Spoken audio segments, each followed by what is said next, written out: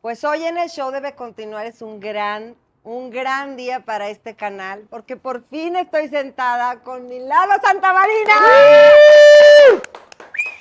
Oye, qué ganas te tenía, Eduardo, en el buen sentido de la palabra, porque eres una de esas personas y de esos actores que desde que te conozco no has perdido tu sencillez.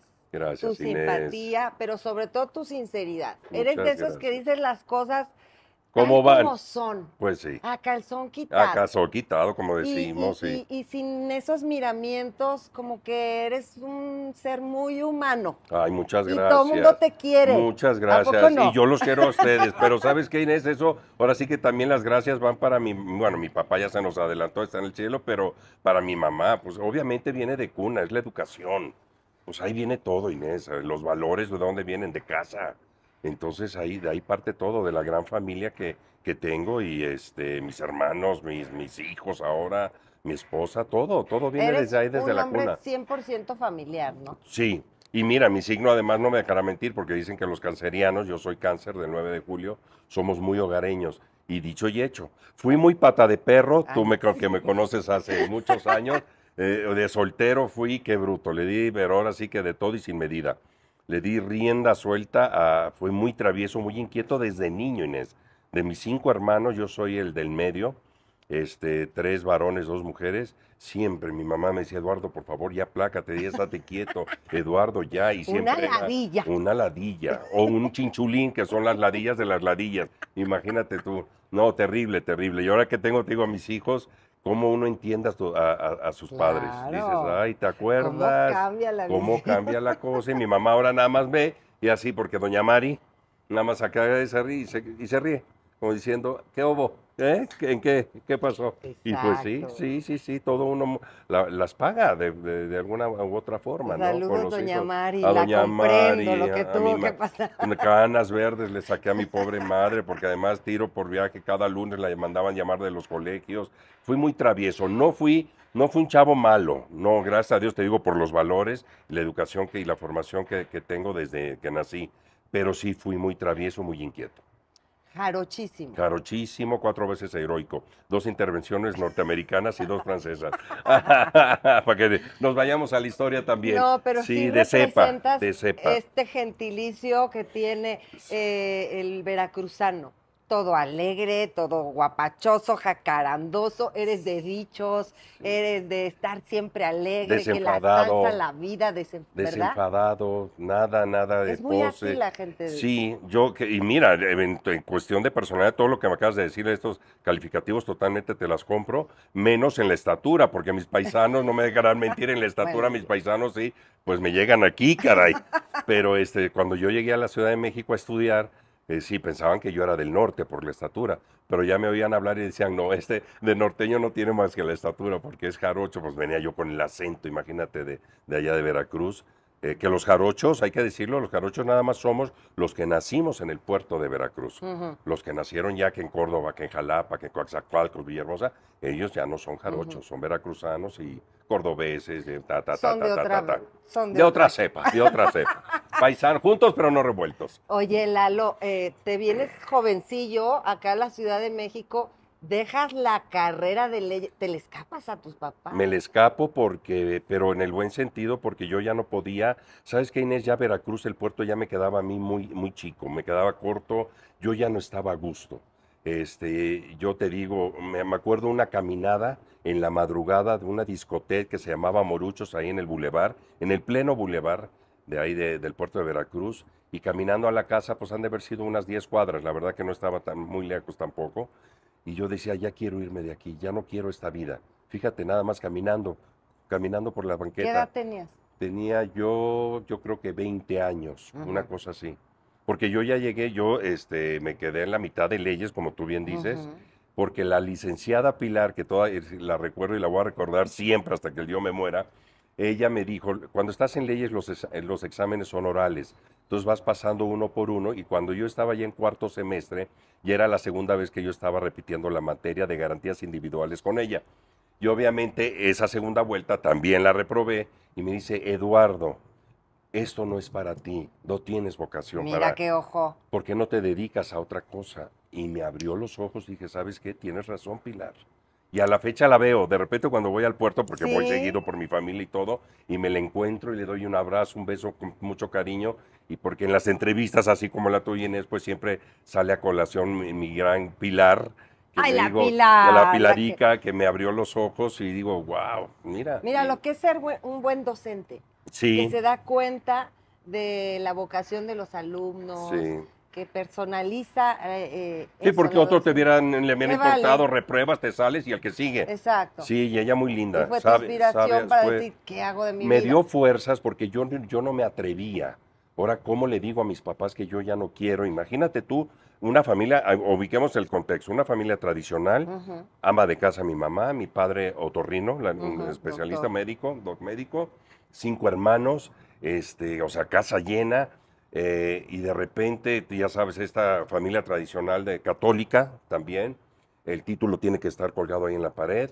Entonces, mis dos hermanos mayores, Mar- Ma- Marichu y Miguel, unos cerebros y muy disciplinados los canijos, y llegué yo y yo rompí el molde en todos los sentidos. Y entonces, este, la presión que yo tenía, ¿no? Sí, claro. Y entonces de repente era, eh, en esa época Pati Chapoy tenía un programa en Televisa que se llamaba El Mundo del Espectáculo Claro. con Pati Chapoy, que eran videos musicales. Y era más o menos a la hora de la comida, dos de la tarde. una- en, en provincia se come más temprano que aquí en la. Ciudad de México.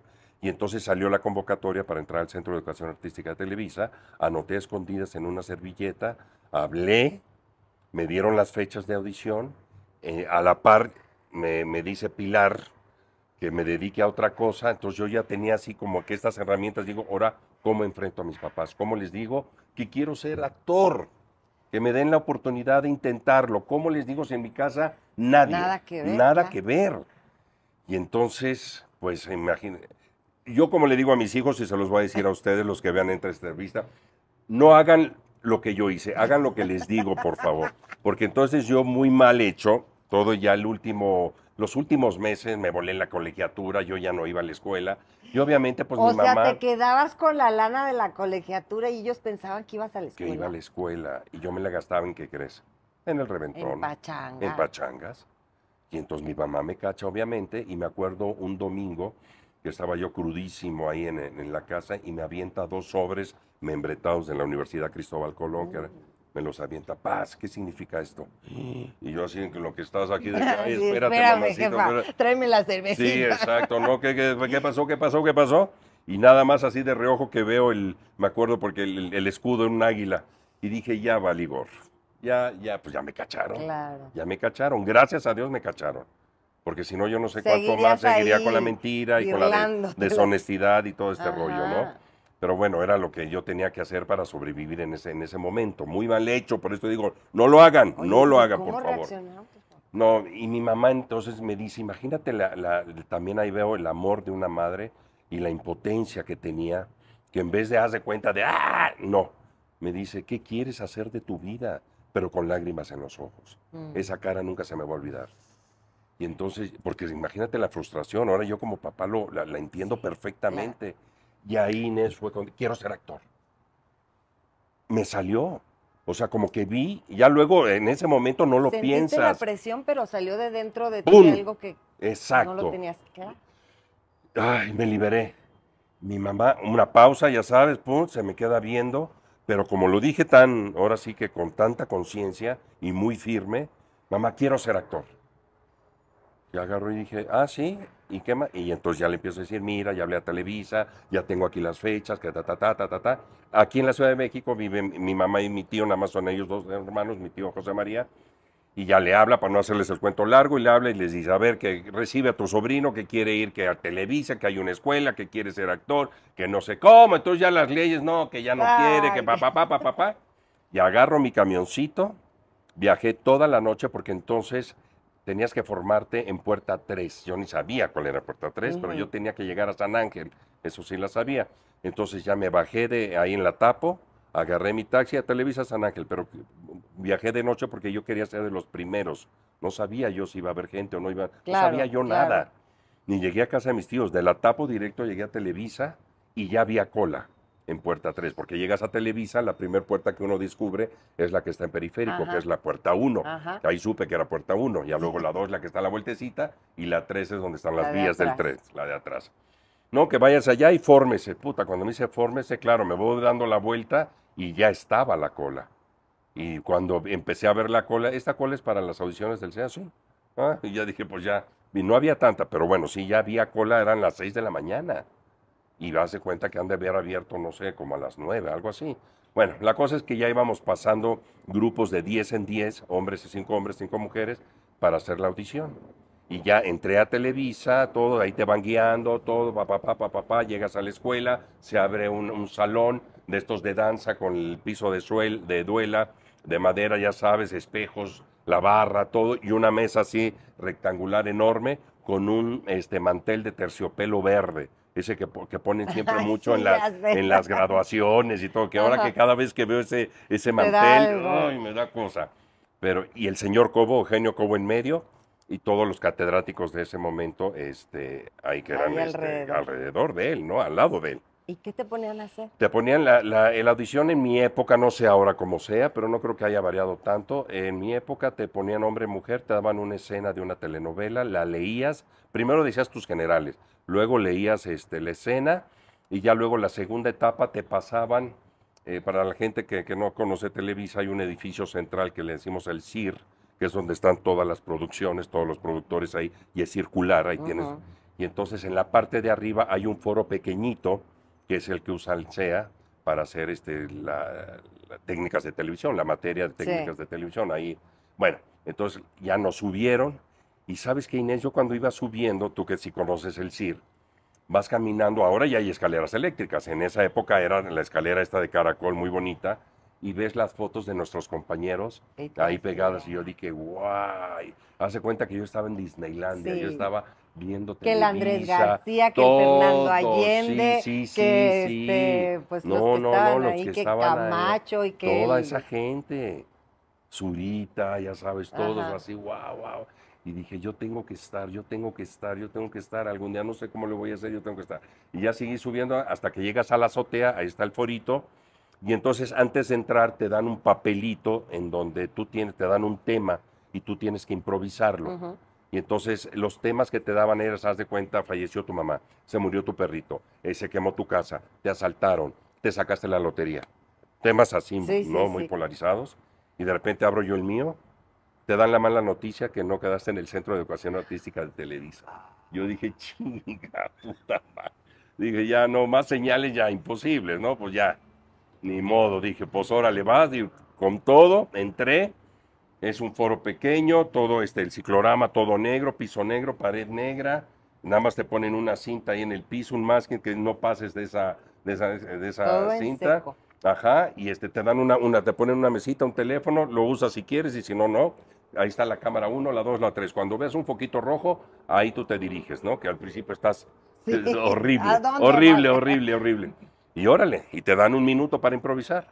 Y ya, y ya cuando terminas, eso es, eso es la audición, ya cuando terminas, te dicen muy claramente, don Eugenio Cobo, no nos hables para saber si quedaste o no. Si no te llamamos, quiere decir que no quedaste. Pues imagínate, luego se saturan todas Qué las líneas. nervios, qué horror. Y entonces ya cada quien se regresa. Ajá. Veníamos mucha gente de provincia, Sí, mucha, mucha, mucha, mucha, gente de provincia, imagínate. Y entonces yo ya me regresé a mi natal Veracruz y mi mamá en la cocina, me acuerdo perfectamente, tenía un calendario de eso que les vas arrancando las hojitas. Ajá. Y entonces la, la fecha era una fecha en diciembre, por ahí del 13 de, de diciembre, una cosa así. Y yo todos los días iba y arrancaba la hoja, arrancaba la hoja. arranca- Llegó ese día y no me hablaron. Toma la pichón, entonces digo, ¿qué hago? Yo para ese entonces, cuando vine, es esto que les estoy platicando, yo también fui a Bellas Artes, Ajá. a la escuela de actuación de ahí. Que ahí sí es a nivel licenciatura, es como la UNAM. Sí. Ahí son cinco años. Aquí en el Centro de Educación Artística son tres años, pero es una carrera, digamos, técnica, no es a nivel licenciatura. Y entonces yo ya tenía ese como plan B. Y entonces dije, sí, pues ya no me hablaron, no quedé, ni modo. Mi mamá me dice, ¿qué pasó? ¿Qué vas a hacer? Porque aquí flojos en la casa no quiero, ¿eh? O te pones a trabajar o te pones a estudiar. Entonces me puse a trabajar todo un año, me esperé, porque dije, por eso yo de repente cuando me gusta platicar esto, hagan caso a sus corazonadas. A ese Tú niño, algo con- dentro de mí me decía, tú síguelo intentando Ajá. y síguelo y regresa a Televisa y si no por segunda vez y si Claro. no ya va a ser plan B, Sí, C o lo porque que la tengas. mayoría dice, ah, ya no quedé. ya no bueno, quedé pues, tan a tan qué hago. y, y- y le da Ajá. carpetazo. Sí.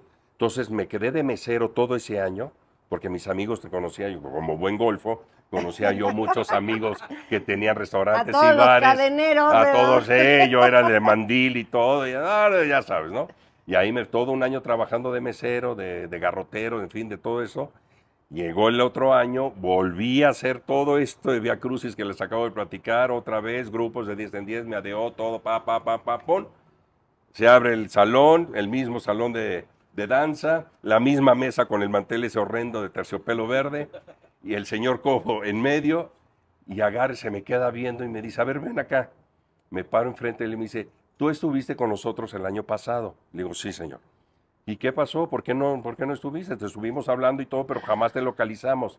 ¿Cómo? Puta, me quedé yo frío y le dije, pues honestamente, señor, no sé, pero jamás a la casa nunca hablaron. Claro, se acordó de ti porque por no la han de, estatura. Claro, no han de llegar por mucho. la estatura, exactamente. Es Inés. una gran Es ventaja. una ventaja, el físico claro que ayuda. Y entonces me dijo, ya no te preocupes, tú ya vas a entrar, aquí está tu horario de clases, Ay, guau. tú ya vas a entrar y sabes qué, no entras ya por la edad además, pues ya estaba ya en la universidad, entras este, directo a segundo, ya no vas a ser primero. O sea que el año supuestamente que perdí, Ajá.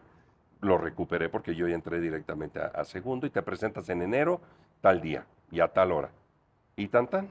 Y ahora sí que como dice mi paisana, ya todo esto es historia, porque pues de ahí para el Real me ¿Y supiste gradué. por qué no? O que si alguien Es el misterio hasta el día, de- yo le digo a mi, mi mamá estaba paniqueada. Segura que tu, digo, seguro que tu Doña mamá- Mari, ¿qué pasó, doña Mari? Ya, Sí, mami, ya floja, que- por favor.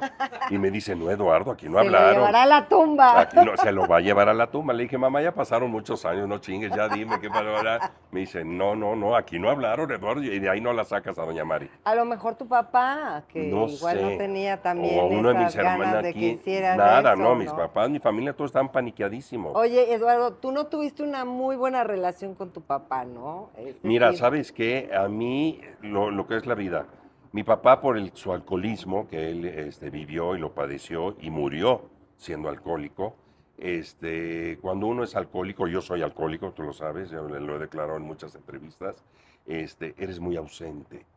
Entonces yo viví un padre ausente, mis hermanos y yo, porque el alcoholismo es eso.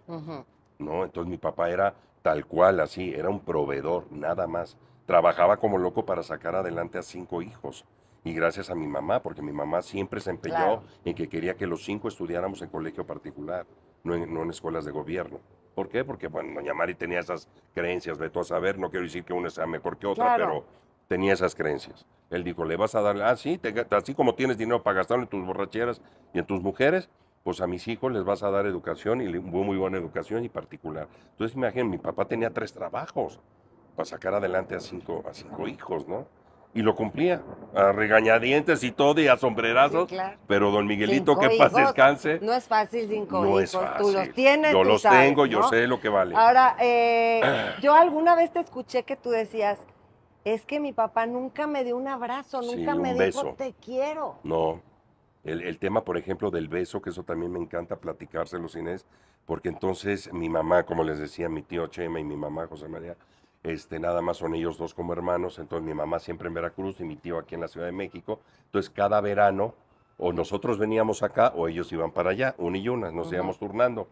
Entonces cuando iban o, o veníamos, hola tío, mis, mi- mis primos, son cuatro primos. Hola tío, ¡mua! beso. Hola tío, ¡mua! beso, beso. Y yo me quedaba y le digo, ¿cómo es posible que yo no me atreva a darle un beso a mi papá? Y yo tenía memoria de ganas de darle el beso, pero no me atrevía, me daba miedo, me, me- me- me- totalmente me paralizaba, Inés, terrible. Y entonces, di- Dios mío, por favor, por favor, en estas vacaciones, y no lo hacía. Al siguiente verano, y no lo hacía. Y así no sé cuántos veranos pasaron hasta que dije, este, este va a ser. Y llegó mi papá, y llegaron mis primos, todo papá, papá, y llega mi, hola papá, y le di el beso.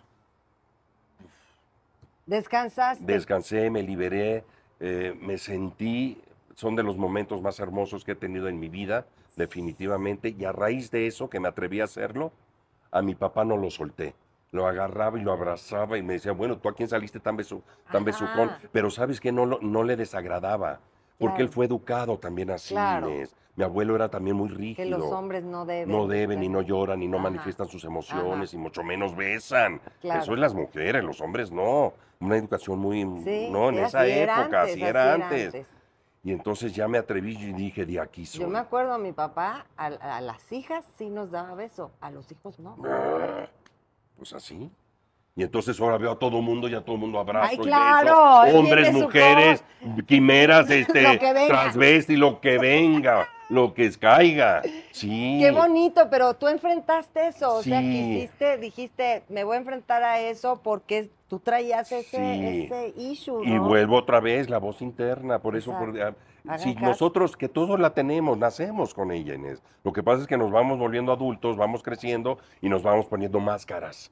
Ya Y sé. vamos tapando y todo por el que dirán, y el prestigio, y el no sé qué, y puras babosadas. Cuando te quitas todo eso y otra vez haces contacto con tu niño interno o niña interno, qué maravilla. Porque todos nacemos, todos los tenemos ahí. Sí. Y entonces si le hacemos caso, porque si no le hacemos caso a él, que es la intuición que, pum, se mete aquí a la loquita de aquí arriba de la azotea, ya lo racionalizas eh, y generalmente ya no, ya no fluye, ya no es Y lo ahorita mismo. es cada vez más difícil escucharnos. Sí, Nos llenamos de ruido sí. para no escucharnos. Y la tecnología, que, que tiene sus cosas buenas, Ajá. obviamente, pero también esto nos ha, nos ha aislado más. Yo lo veo, lo veo con mis hijos, ya todo el mundo con el celular en Sí. la mano. ¿A qué Vas hora al piensas? baño con ¿A el horas- celular. ¿A qué hora piensas, no? Sí, Oye, eh, Lalo, al hablar acerca de lo que, del carácter de tu papá, de cómo vivieron ustedes, lo que viste, pues que era mujeriego, su Sí. alcoholismo,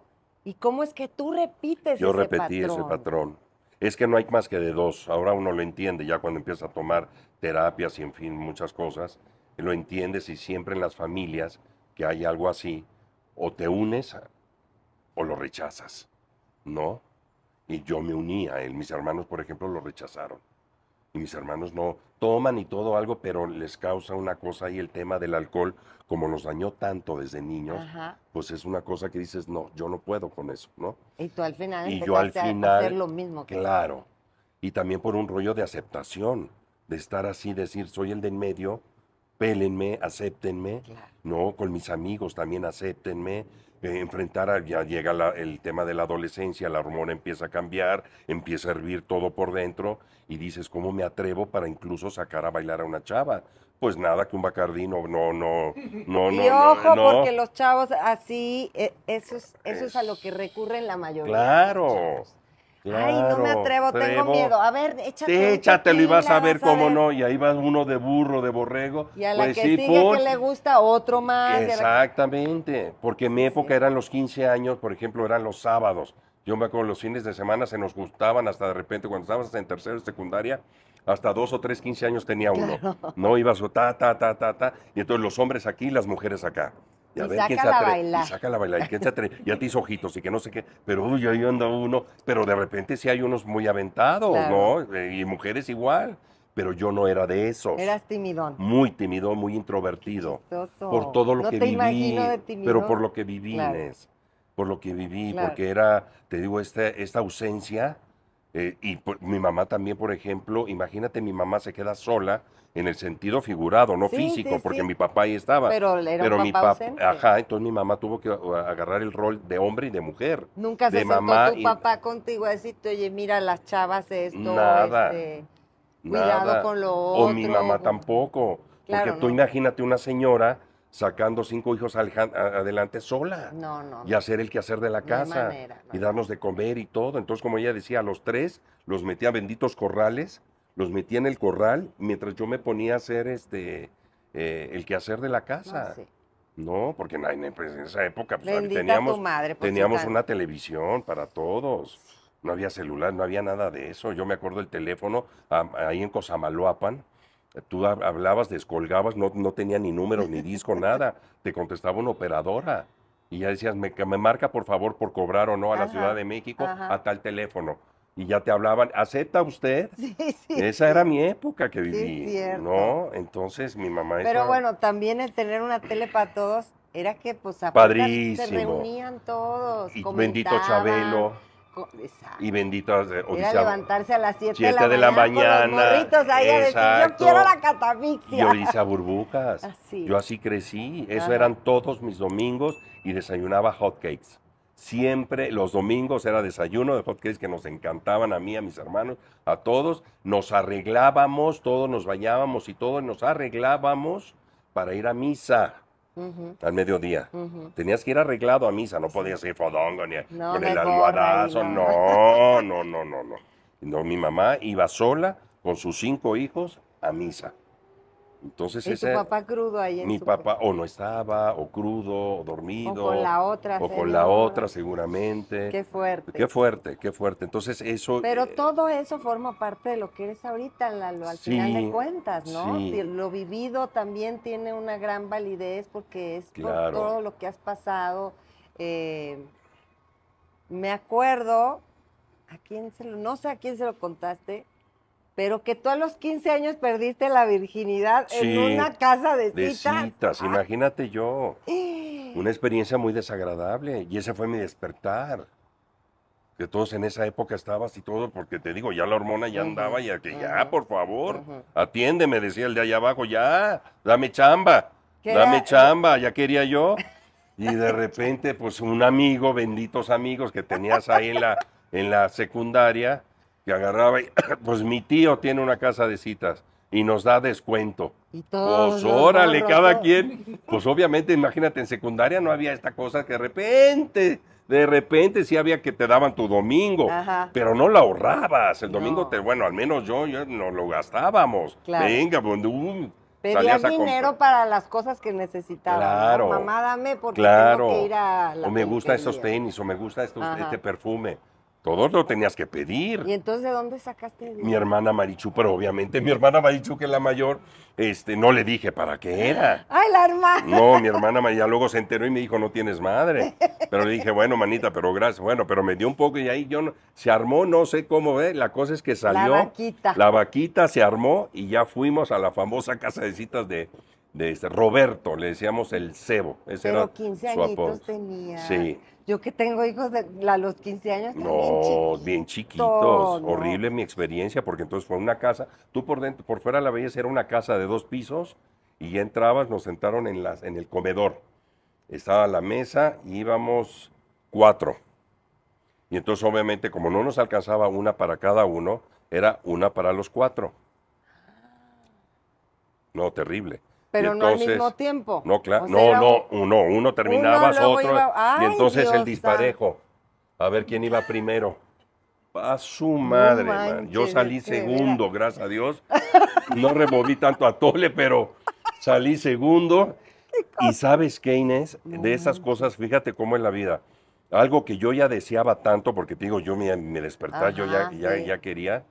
Y este, entro a esa habitación, veo a esta señora, con todo respeto, veo a una señora ahí ya entrada Mayorzona. mayorzona, con carnitas acá, ya sabes todo. No creas que era una cosa, no, No, no, no. desnuda en la cama y me, me- desde cierra la puerta, cierro la puerta. cuando subí la escalera las piernas me temblaban. Iba yo paniqueadísimo, muerto de miedo, terrible. Entonces ya cruzo, ya no te podías rajar, estaban los otros ahí viéndote, entonces decías, pues va. Cerré la puerta y me dices tu primera vez, ¿verdad? Y le digo, sí. Imagínate el colmillo de esa señora, ¿no? sí. claro, nada más con verte ya sabe. Y me dice, ¿sabes qué? No te preocupes. Pasa al baño, lávate, así. Tal, esas palabras nunca se van a olvidar. Lávate. Lávate, puta, ¿qué me lavo, man? Lávate, ¿qué me lavo? Pues te lavas las manos y te lavas allá abajo. Entonces yo dije, puta, pues ya entré al baño que estaba ahí, temblando, me lavo, me, ah, me empiezo a lavar. Yo me quería ir, terrible, no había, no, nada.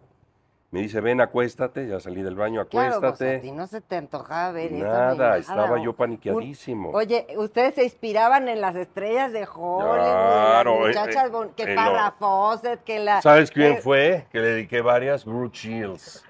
Brooke Shields. Con la Laguna Azul, La Laguna seguro. Azul. Claro. Tenía mi póster. Pues es que fue las este- primeras películas que vimos que sí nos- ponían acá, ¿no? Claro, el de la sí, decía, eh, ustedes al güerito y nosotros a la Brooke Shields, que fíjate, del güerito, pues ni me acuerdo su nombre, qué chingo me voy a acordar el nombre del güerito.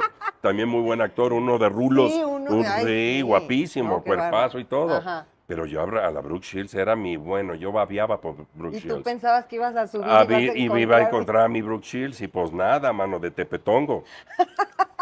Y pues ni modo, y ya acuéstate, que no sé qué, y pues no paraguas, no paraguas, no paraguas, no paraguas, y pues no paraguas hasta que ella, la señora ya agarró, hizo su chamba, Ajá. y pues sí, ya agarré, como que ya me medio relajé, Ajá. pero yo ya lo que quería era irme de ahí. Terminé como pude, me fui, y ya de ahí terminamos todos, y ya cada quien caminando. Ajá. Estamos en Veracruz, recordemos Sí, ahí claro, todos, pues, mi a mamá, unas por ejemplo, a casa que sigue siendo mi, de mi mamá y todo, pues muy cerca del centro, caminando a la casa con una cruda moral, este, una decepción, este, terrible experiencia, terrible experiencia. Llegué, me bañé, Sí, claro. me bañé y yo dije, puta, algo que yo deseaba tanto, ¿es así? ¿Es esto? Exacto, qué No, decepción, porque qué decepción. de todo, todo mundo habla de eso y ay, que una maravilla y vivir esa experiencia Esa por primera vez experiencia, dices. ay, no. Y, y la segunda para ti sí fue placentera, ya fue con Claro, que te porque ya fue con una pareja. Ok, Entonces ya, al menos ya era consensuado. ajá. No, ya era, ya, ya, ya. Entonces y ahí fue también como yo empecé ya mi... Es que antes se usaba andar, eso pero- mucho de hay que desquintarlo, ¿no? Sí. Que hasta los mismos papás o los tíos los llevaban ahí con Ajá. O échamelo a tu hijo, tú no quieres, échamelo, compadre, o esto, yo lo llevo. Exacto. Y está horrible eso, Horrible. ¿no? Qué bueno que ya todo. Yo, por ejemplo, con mis hijos dije, pero ni de pedo, ni de, perdón, ni- se me sale de repente. el- No, no, ni no. de loco. Es YouTube, aquí ni de- se puede. Ni de loco voy a permitir que mis hijos vivan esa experiencia. Y obviamente se las Y platiqué tú a hablas ellos. con ellos, Claro. Y le digo, yo no quiero que ustedes vivan esa experiencia cuando lo quieran hacer, porque eso es algo además muy personal, es Sí. muy privado, es tu intimidad, ahí nadie, nadie te puede decir qué hacer o cómo hacerle más que tú. Nada más, la única sugerencia que yo les puedo dar como padre, háganlo con una persona que realmente sientan algo que por ella, quieran, que claro. quieran. Ya déjate Para que que estés enamorado, para que sea una, exacto, y que recuerdes siempre con mucho cariño, ¿no? Y no, y no saboracen, no llegues y, no, no, no, con mucha calmita, con mucha, con, como, con mucho, con mucha delicadeza, hijos, ¿no? Porque sé que lo van a hacer con una mujer, Claro, entonces que la está ahí la diferencia de que pueda ser una Claro, y mira, y tenía yo que vivir esto para poderle yo a mis Claro. hijos. Te digo, Entonces, tú eres el resultado de todas esas cosas Claro. que viviste, buenas y malas, con tu papá, con tu alcoholismo, todo claro. eso. Inés, a mí me, perdón, me, me preguntan mucho, eh, ya sabes, esta pregunta, ¿qué consejo le darías a tus hijos? El mejor consejo que yo le he podido dar a mis hijos es cometan errores. Cometan errores, Pero aprendan de ellos. pero aprendan de ellos, exactamente, ¿no? Claro. Y para eso son los noviazgos también. No nada más de la primera que veas ya cásate. Sí, conózcanse, sí. Conózcanse, en fin, ¿no? Entonces, digo, cada, y son las herramientas que yo he tenido que, y se las transmito y, y ya los hijos, porque también llegan a esa edad y también les dices, a partir de este momento las decisiones más importantes de tu vida las vas a tomar tú, hijo o hija. No, yo, yo no voy a estar, ni mamá ni papá vamos a estar ahí para el tema de, una- de las drogas, el contacto con las drogas. Sí, Tú vas claro. a decidir si le entro o no Uy, le entro. ahorita cómo está, Terrible. en cualquier lugar donde llegan hay Terrible. alguien que trae droga. Cada generación en mi época, por ejemplo, esto del fentanilo. No, no, No, no, no, no existía. claro. No. Ni las piedras, ni todas Nada. esas cosas. O sea, En mi época si me acuerdo- acaso, coca, mota y se acabó. Era la mota, fíjate, ni siquiera en Veracruz, ni siquiera la coca. Era la mota y el, Alcohol. y el alcohol, eso era. Y la mota era muy satanizada. Decías, este es marihuano. Ni- Sí, ni, sí. ni- ni pases por ahí porque ahí hay marihuano. Olías a mota y uy, y uy, qué marido. Y salías corriendo, banda, ¿no? sí. Los malos Y del cuento. No, hombre, ahorita es muy cool o- no, oler a, cool. a petate. Ay, qué horror. Sí, ya es cool. Tú vas ahí, como ya es legal, tú vas a Estados Sí, Unidos, vas a. California, vas Es a Nueva York y todo. Es medicinal. Sí, una parte, Sí. pero la otra te pone bien pacheco.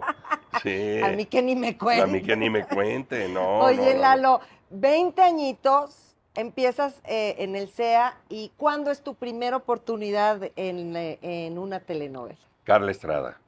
Pero además, Carla Estrada, eh, que acabo de recibir la medalla Carla Estrada. Es cierto, Me- ahí estuvieron me- me juntos. Te encanta. paso las fotos, Me cachorro. encanta, me encanta, porque Carla Estrada para mí, imagínate, fue mi madrina de generación.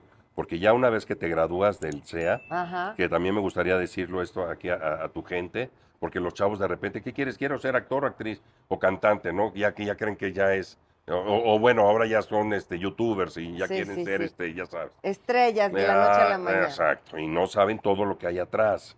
De mi generación éramos 50, dos grupos de 25, A y B. De ahí nos graduamos 25 y de esos 25 quedamos cuatro en activo. Cuatro de 50. Consuelo Duval y Tati Cantoral, Germán Gutiérrez, no, Fabiola, Fabiola Campomanes. Campomanes y, y un servidor. Fíjate. Y tan tan, Sí, la gente cree y que tan ya tan. está en Televisa, ya Ya, a- seguro. Ajá. No, no, que estés en Televisa y seas egresado de Televisa, naranjas y limas. Hay tanta gente que entra y sale Exacto. ahí que... Y Eugenio Cobo entonces tiene a bien, fíjate que siempre eh, busca un padrino o una madrina de generación, puede ser un Para que ejecutivo. puedas ir ahí con ella y llevarle tus fotos o pedirle... No, porque mira, también puede ser un ejecutivo de la empresa o puede ser no, no necesariamente un productor. Y yo tuve la suerte de que fue Carla de que Estrada. fuera un producto. fue pro- productor. Carla eh, me ve a mí en una obra que se llamó Liliom. Yo era Liliom en esa obra de teatro. Y me habló y me dice, preséntate en enero. Esto fue 89, esto fue en el 91, diciembre del 91, ya mi último examen, ya mi graduación, que te dan tu platiquita. Carla develó la placa, todo, papá, papá, muy bonito, cada quien da más vacaciones. En enero voy a hacer un cast, te voy a hacer un casting, te necesito, porque voy a empezar una telenovela que se llama De Frente al Sol y este y quiero que castees para un personaje. Ah, padrísimo, me fui muy contento, regresé de las fiestas, me presento en enero a la oficina de Carla Estrada, estaba René Muñoz, que en paz descanse, que era el escritor Sí, veracruzano, sí, claro. estaba que lo adoro, lo adoro, lo adoro. Mónica Miguel también, que en paz descanse, que eran y Miguel Córcega, los directores, que ya se nos ya adelantaron todos, oye. y pues a ver, léete. Y pácale, ya leí todo. Y ya, bueno, ya hice el casting, te vas y tan, tan. Y de repente, ya para no hacerles el cuento largo, yo fue un casting muy, muy difícil en el sentido que Carla Estrada quería, obviamente, si yo hubiera sido productor, también hubiera querido a Ricky Martin. Ricky Martin, recordarás que en esa época estaba guapazo, ya sí, sabes. sí, sí, de cantante, pelo largo. Claro, con las novelas de Luis de Llano. Con estas novelas él de empezó Los muñecos de papel. papel, claro. Y entonces Carla lo quería para ese personaje, Luis Enrique era el, el personaje. Y este y le dice la disquera, la gente de Enrique, le dice, "Carla, no se puede cortar porque Carla que se corte el pelo, si no estaba greñudo, Ajá. entonces no podía, no Sí. se puede, ya hicimos toda la promoción del disco, no se puede cortar el pelo." Fíjate, esas cosas Entonces, la gente no sabe, pues, se claro. comprometen con un look y ahí, Y ahí no hay manera. No hay manera, pues ya hiciste todas las fotos, todo eso, ahora cómo va a salir pelón. Y entonces, bueno, no, no me sirve, no me funciona, pues sí lo quería, pero no. Y entonces yo estuve ya con otros compañeros, papá, que me daban el papel, me lo quitaban, me lo daban. me lo- Claro, porque Carla, yo era un perfecto desconocido. Sí. Yo estaba recién salido de la escuela, arriesgando. se la estaba jugando, pero Carla tiene eso. Carla ha lanzado a mucha gente, a mucha gente. Fernando Colunga es uno de ellos también, que empezó con Carla, ¿no? Y bueno, te podría no- no- nombrar este Ernesto La Guardia Muchísimas. también. Gente que además seguimos vigentes y que hemos hecho una carrera muy bonita. Entonces imagínate la visión y la mano que tiene Carla. Entonces, siendo mi madrina de generación, luego fue mi productora, porque ya me quedé en De Frente al Sol, y tuve la suerte de que De Frente al Sol, recordarás, fue un exitazazazazazo. Pero no haber actuado y de pronto entrar con un papel estelar. Estelar. Era María Sorté. es tener buena estrella, mi Lalo, Exacto. ¿eh? María Sorté, Alfredo Adame, los, protagonistas. Arcelia Ramírez, que era también su primera telenovela, porque Wow. Arcelia venía gran actriz Sí. de cine y de teatro. Sí. y Carla también se la jugó con ella, nadie la conocía en, en- en televisión. Y Eduardo Santamarina en De Frente al Sol, con pa, pa, pa, pa, pa, Lilia Aragón, José Elías Moreno, Angélica Aragón. Ay, No, no, no, no, no, un repartazo. Increíble y fue y fue fue muy buena telenovela. Buenísimo muy- la segunda parte. Claro. Que se llamó Más allá del puente, allá. con Katy Jurado, Jorge Rusek. No, no, no, un reparto, Eri del Castillo. ¿Y qué aprendiste en esa primer telenovela? y yo estaba muy bien cobijado, mis papás, Lupita Lara, que cada vez que la veo le digo, ay, Ay, Lupita, la de que mi el-". secretaria. Sí, y. Sergio Kleiner era mi, mi papá. Ok. Mi- el, el día que yo tuve, que yo sabía que vi mi llamado, y al otro día mis escenas eran con Angélica Aragón, yo no dormí esa noche, estaba muy nervioso, Claro. eh, ya saben, diarrea y todo el rollo. Y llego así, pum, pum, pum, ya entro al foro, ahí está eh, Angélica como toda una primera actriz, ya estaba ahí en el set, sentada, y agarro, ya nos conocíamos, porque Carla nos junta, ya ves, y las lecturas y todo, y nos llevaba, porque Mónica Miguel ha- hacía un ritual bien bonito que nos llevaba a Teotihuacán, todos vestidos de, de blanco, Para la energía. para la energía y la energía positiva del proyecto que íbamos a iniciar. Nos agarrábamos todos de la mano en la pirámide del sol. Yo soy, yo soy, yo soy, tres veces, viendo hacia, hacia el sol. Órale. Y mira, funcionó, Le- sí, porque claro, todas las novelas con Carla Estrada, y maravilloso. Y entonces agarra ya a Angélica, todos sentados, hola Angélica, ¿cómo estás? Buen día, ta, ta, ta. Me ve y me dice, ¿estás nervioso? Digo, no he dormido, callo de Angélica. Angélica. Sí, ¿estás nervioso? Así ahí el muchachito. Sí, todo esto, yo totalmente te digo, perfecto Sí. desconocido. Siéntate, se para, y yo dije, ya valí madre, ahorita vale. Se pone atrás de mí y me empieza a dar masaje, me dice, respira, inhala, exhala, Eduardo, ¿te sabes tus escenas de memoria? De memoria, Angélica. Perfecto, vamos a ensayarlas. Y empecé con ella, pa, pa, pa, pa, pa, y todo el día con ella, y pum, saqué mi llamado.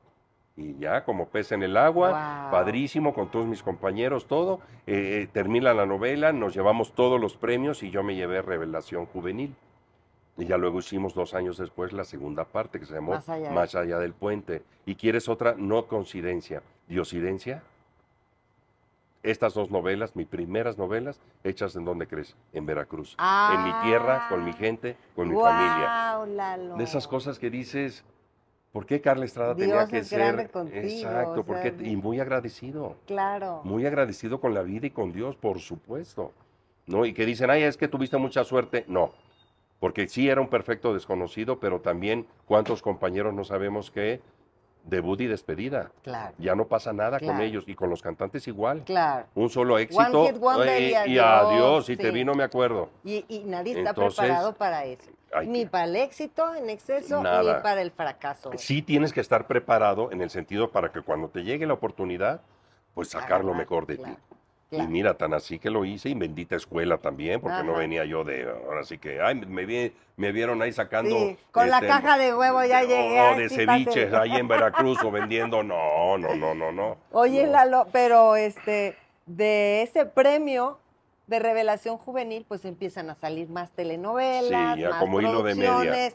Más coprotagonistas, parejas, porque, ah, como tuviste fama de Sí, picaflor. No dejaba títeres No sin cabeza. dejabas una protagónica, sí, será por la proximidad, los Pues besos es y que todo eso. tú me vas a entender muy bien. y aquí también, no, no se me escapa, no se me escapa. Mire, este, sí, siempre mis novias, mis novias fueron, este, la gran mayoría del medio artístico. Tenías obviamente. debilidad por las. Bueno, chicas siempre por las que mujeres trabajabas, mi ¿no? debilidad. Por las mujeres fui muy mujeriego. Muy Muy mujeriego. mujeriego. Otro patrón de Eh, tu. Claro, muy adquirido, una creencia totalmente adquirida de mi, de mi padre. Eso yo lo vi desde mi infancia. Y entonces eso yo lo, yo, yo lo viví. Y entonces, el, a lo mejor el engañar a una y a otra, tú no lo veías como algo. ¿Sabes qué me marcó también una otra experiencia para mí también en, en tercero de secundaria? Eh, yo estaba profunda, de estos primeros amores, Ajá. que vas con todo. sí, sí, De, sí, de- que te deja así. Exacto, que de una compañera era, éramos novios, Verónica, me acuerdo perfectamente, gran, linda, linda, Vero, te mando un besote, estés donde estés.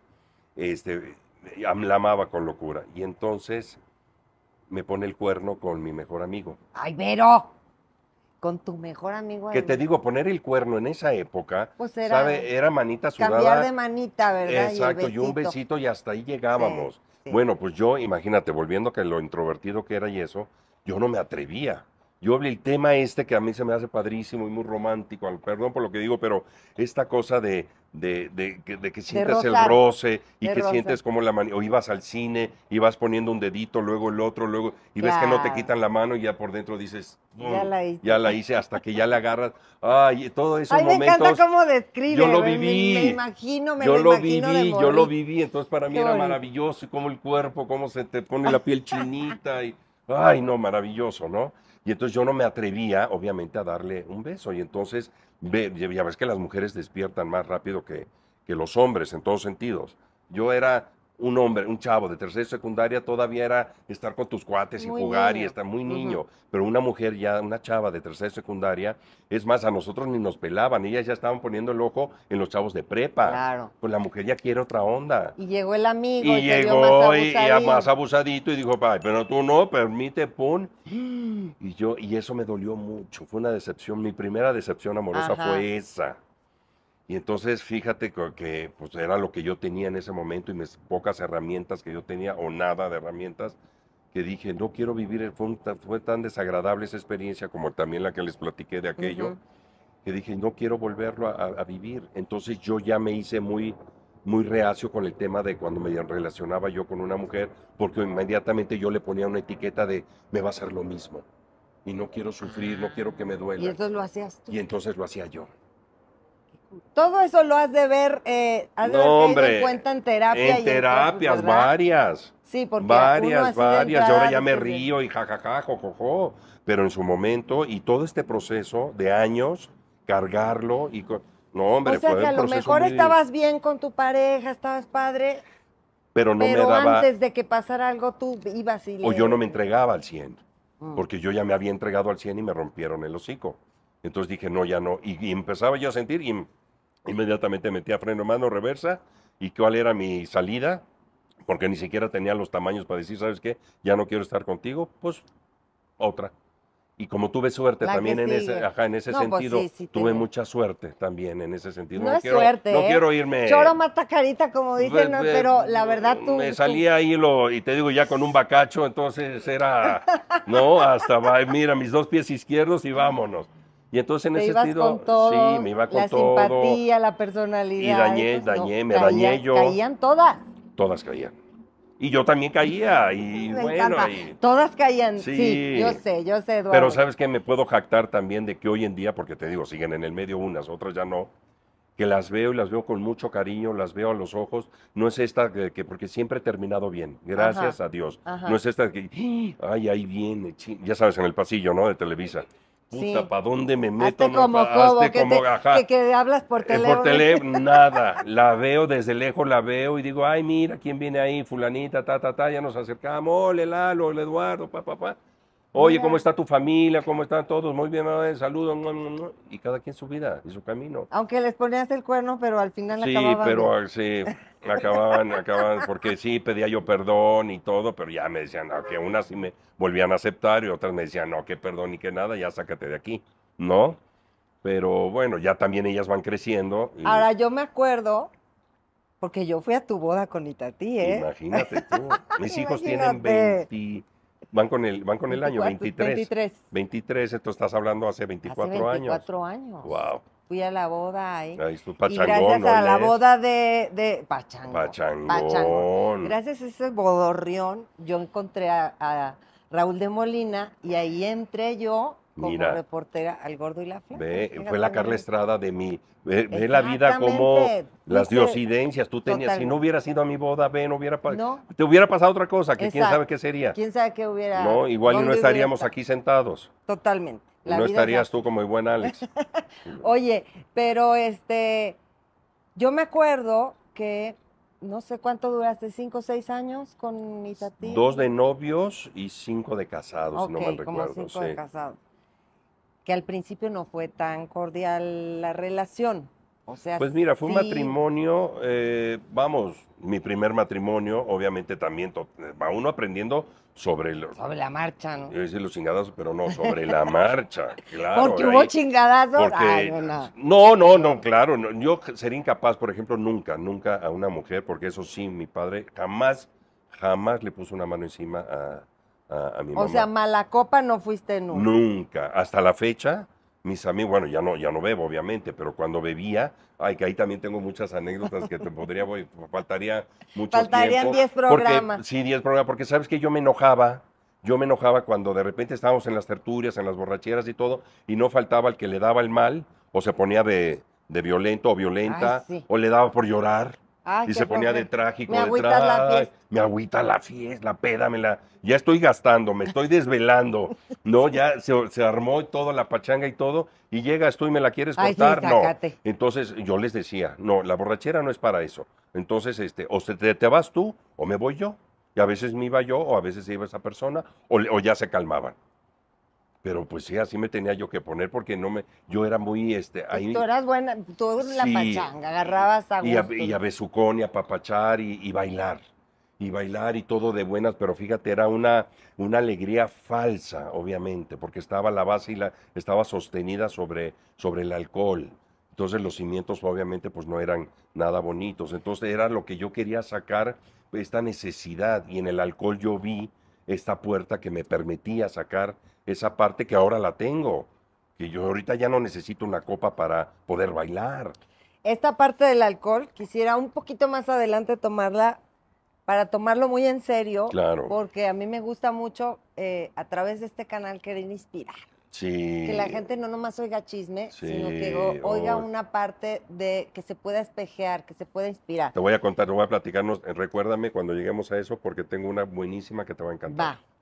Pero estábamos en tu matrimonio con Itatí, no fuiste nunca mala copa, ni golpeador, No, ni, ni no, hubo no. pleitos, ni Nada. gritos, ni sombrerazos. de Los estos, pleitos de un matrimonio, normal. normal, pero nada, nada más, nada más eso. Lo que culmina tu matrimonio con, con Itatí es la relación con Susana. No me contestes porque vamos a, vamos a un consejo. Vean este consejo porque a todos los que se están queriendo poner a dieta necesitamos una ayudita extra, así que vean esto. Mucha gente me ha preguntado, oye, ¿cómo te ha ido con la dieta que dijiste que ibas a empezar? Pues les voy a decir que yo pensé que iba a ser más difícil, porque otras veces, la verdad, o sí estaba muerta de hambre todo el día, o agotada por el ejercicio, pero en esta ocasión le hice caso a una recomendación y entonces adquirí mis Tabs, que son comprimidos herbolarios de manera natural, pues contienen elementos como nopal, linaza, té negro, té verde, puras cosas naturales que combinadas que hacen, pues impulsan tu metabolismo y hacen que vayas mejor al baño y que conviertas esas calorías en energía, entonces no estés agotada. La verdad, la verdad yo se las recomiendo cañón. Miren, ya me puedo poner estos estos pantalones que no me podía poner, las lonjitas ya van desapareciendo, así que por favor llamen a estos teléfonos y ahí les dan asesoría, ahí les dicen cómo tomar. Entonces, ¿tu matrimonio con Itati termina por tu relación, porque empiezas a andar con Susana? No, no, en Porque el eso es lo sentido, que sé. eso lo, no, claro, y fue la mediatez, porque Ajá. justo ahí cuando viene el truene, que ya un matrimonio, ya, en mi matrimonio ya estaba terminado desde hace cuánto, pero justo ahí en- estoy haciendo una telenovela con Susana, y entonces, claro, inmedia- y tú no me dejarás mentir, ¿cuál fue? Y Susana fue la que pagó los platos Velo de novia. velo de novia y tal, tal, pero no, mi matrimonio ya con Itatí ya estaba más que fracturado. Y ahí fue, yo obviamente, por eso te digo, hagan lo que, no hagan lo que yo hice, hagan lo que les digo. Tú termina una relación, termínala, que es lo que también le digo a mis hijos. No agarres y todavía sin terminar una relación empieces otra, porque eso, eso no está bien. No quiero claro, porque a la gente no le mal. vas a explicar, es que esto ya venía mal desde Claro, siempre. y ya ni te la no creen, ni nada, relación". cosa que ni me No, importa, el- pero El instinto del humano es eh, como Claro. echarse sobre, ah, no. claro. Y lo peor Y es lo que es que se echa contra la mujer. Claro. Porque a la que peor le fue con, Fue, ese, claro, con ese escándalo claro, fue a Susana. Claro, claro, claro, la que pagó los platos rotos, por supuesto. Entonces no se, no se vale, no se vale. Entonces, y, y pasaron muchas cosas que obviamente esas me las llevo yo a, a la tumba, porque sería yo incapaz, nunca voy claro, a hablar de hablar de, no, de ti, una ¿no? mujer, Pero- no, jamás es la madre de, de mis hijos y todo, y un- un- una relación, sea de matrimonio o no, la no hay culpables, hay responsables, y la responsabilidad es de los dos, es de los dos, y no, y no funcionó por responsabilidad de falta de herramientas de parte de los dos. Tan, tan, así de, así de, de claro, ahora lo veo así por las terapias que he tenido, pero en el momento, pues es lo, ¿qué es lo que haces? Pues con lo que tengas, Ajá. ¿no? Son las herramientas que tengo y, adi- Tú te enamoraste de Susana, entonces. y ya llega la novela y todo, y también agarré, la agarré como tablita de, de, de salvación, como un escape, ¿no? Pero te digo, pues muy, muy, muy mal hecho. Y entonces, pues sí, también ahí, porque también no, no, no es sano también para, para, para Claro. ella, Claro. ¿no? En fin, pero son tonteras, mira, tenía también, pues estaba yo, digo, no, te, no que... Treinta y pico. Treinta y uno, Mm. treinta y dos. Sí, por ahí, exactamente, exactamente. Y duraste un ratillo con, con Susana, ¿no? Sí, duraron un Sí, tiempo. tres, cuatro años. Ajá. Sí, sí, sí, sí, sí. ¿Por qué terminó esa relación? También por cosas de eh, no, pues no, no llegamos a, a concretar. Como dicen los divorcios, incompatibilidad de, de caracteres, pues sí, sí. O sea, no fue porque ya andabas con alguien tú. no, no, no, no. Ahí sí no. Ahí sí no, no, no, no. Fue de que, pues, ¿sabes qué? También yo ya ahora, obviamente a la distancia, ya cuando una relación empiezas que truenas, regresas, truenas, Claro. regresas, ya es un desgastante para ambas partes. Y entonces ya a mí, para mí, es mi percepción, no quiere decir que yo, yo, no, yo no doy consejos, ni mucho menos. Fue lo que yo viví. Este, es desgastante y entonces automáticamente ya se vuelve una relación tóxica, ya no, ya es un- ya no es una relación sana. Pero es que además no estaba, como dicen los gringos, meant to be. No estaba destinada Mm. para ti. Al final de cuentas, la mujer que estaba destinada para ti, a lo mejor ya estaba en tu mente, porque alguien me dijo por ahí que tú ya estabas obsesionado con Mayrin antes siquiera de salir con ella.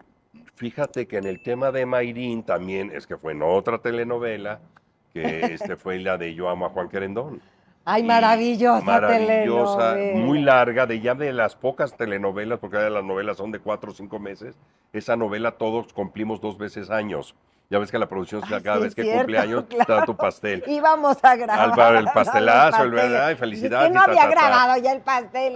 Dos veces todos cumplimos Ajá. años. Entonces, este, una novela muy larga y al final, claro, ya está esta parte del el, el olor, las caricias, los besos, este, el estar todo el tiempo este, metidos en un foro. Y Juan salió muy querendón. Y Juan salió muy querendón, mano. Entonces yo sí llegué, vi a Mayrín y dije, wow, qué mujer. Qué mujer. Sí, sí, me, me fui con todo. Pero Ahí ella no, ella, ella estaba con Jorge. Ella estaba ¿no? casada. Ella estaba con Jorge, Sí. pero sí notaba como que tú no le tirabas así el can de. No, no, no, pero eh, hay algo que, por ejemplo, la piel es la piel. Sí. Tú lo sabes, la piel, o sea, todo lo que hemos estado enamorados, eso nos dicen que el dinero y el amor, pues no, No se no se puede ocultar. ocultar. Y entonces, este, ya al final de la telenovela, ya todo mundo, porque lo, nos, se ve en los ojos, Sí. se ve. Empiezan los rumorcillos de, Sí. oigan, es que vimos muy Sí, juntitos a Julinto. O muy platicadores, Ajá, o muy... Y sí, Y es claro que porque se empiezas... nota, es porque se Y nota. empiezas así, claro. Hasta que ya te das cuenta y te gana. Es una fuerza que va más allá de ti. No es algo que tú pienses, digas, paso uno, ta, ta, ta, paso dos. Este día me. No, no es dos más dos, claro. cuatro. No son números, no es matemática. Es algo. Es muy orgánico. Ahora sí que la palabra esta que ahorita está muy de moda. orgánico. Orgánico, que para todo es ¿no? Y va- orgánico. Y va, Y increciendo. va creciendo y va esta cosa, ta, ta, ta, ta, hasta que ya estás hasta las manitas, ya no puedes echar para atrás, dices, yo ya, puta, ya, ya me aventé del pre... Cuando te avientas al abismo, ya no hay de que, ay, me voy para... Ya no, ya no puedes. Y así nos pasó a nosotros dos en esta relación. Y bendito abismo, y bendito lo que tuvimos que vivir. Porque mira, hoy en día sigo casado. Vea nada más. Y tengo que una hija y tengo una es que, se llama Julia, que tiene 13 años, y tengo cuatro hijos maravillosos, dos de Mayrín, dos míos. y Los somos tuyos, los míos, nuestros, como la los película. míos, los tuyos y los, nuestros, míos, así los se llama mi, película.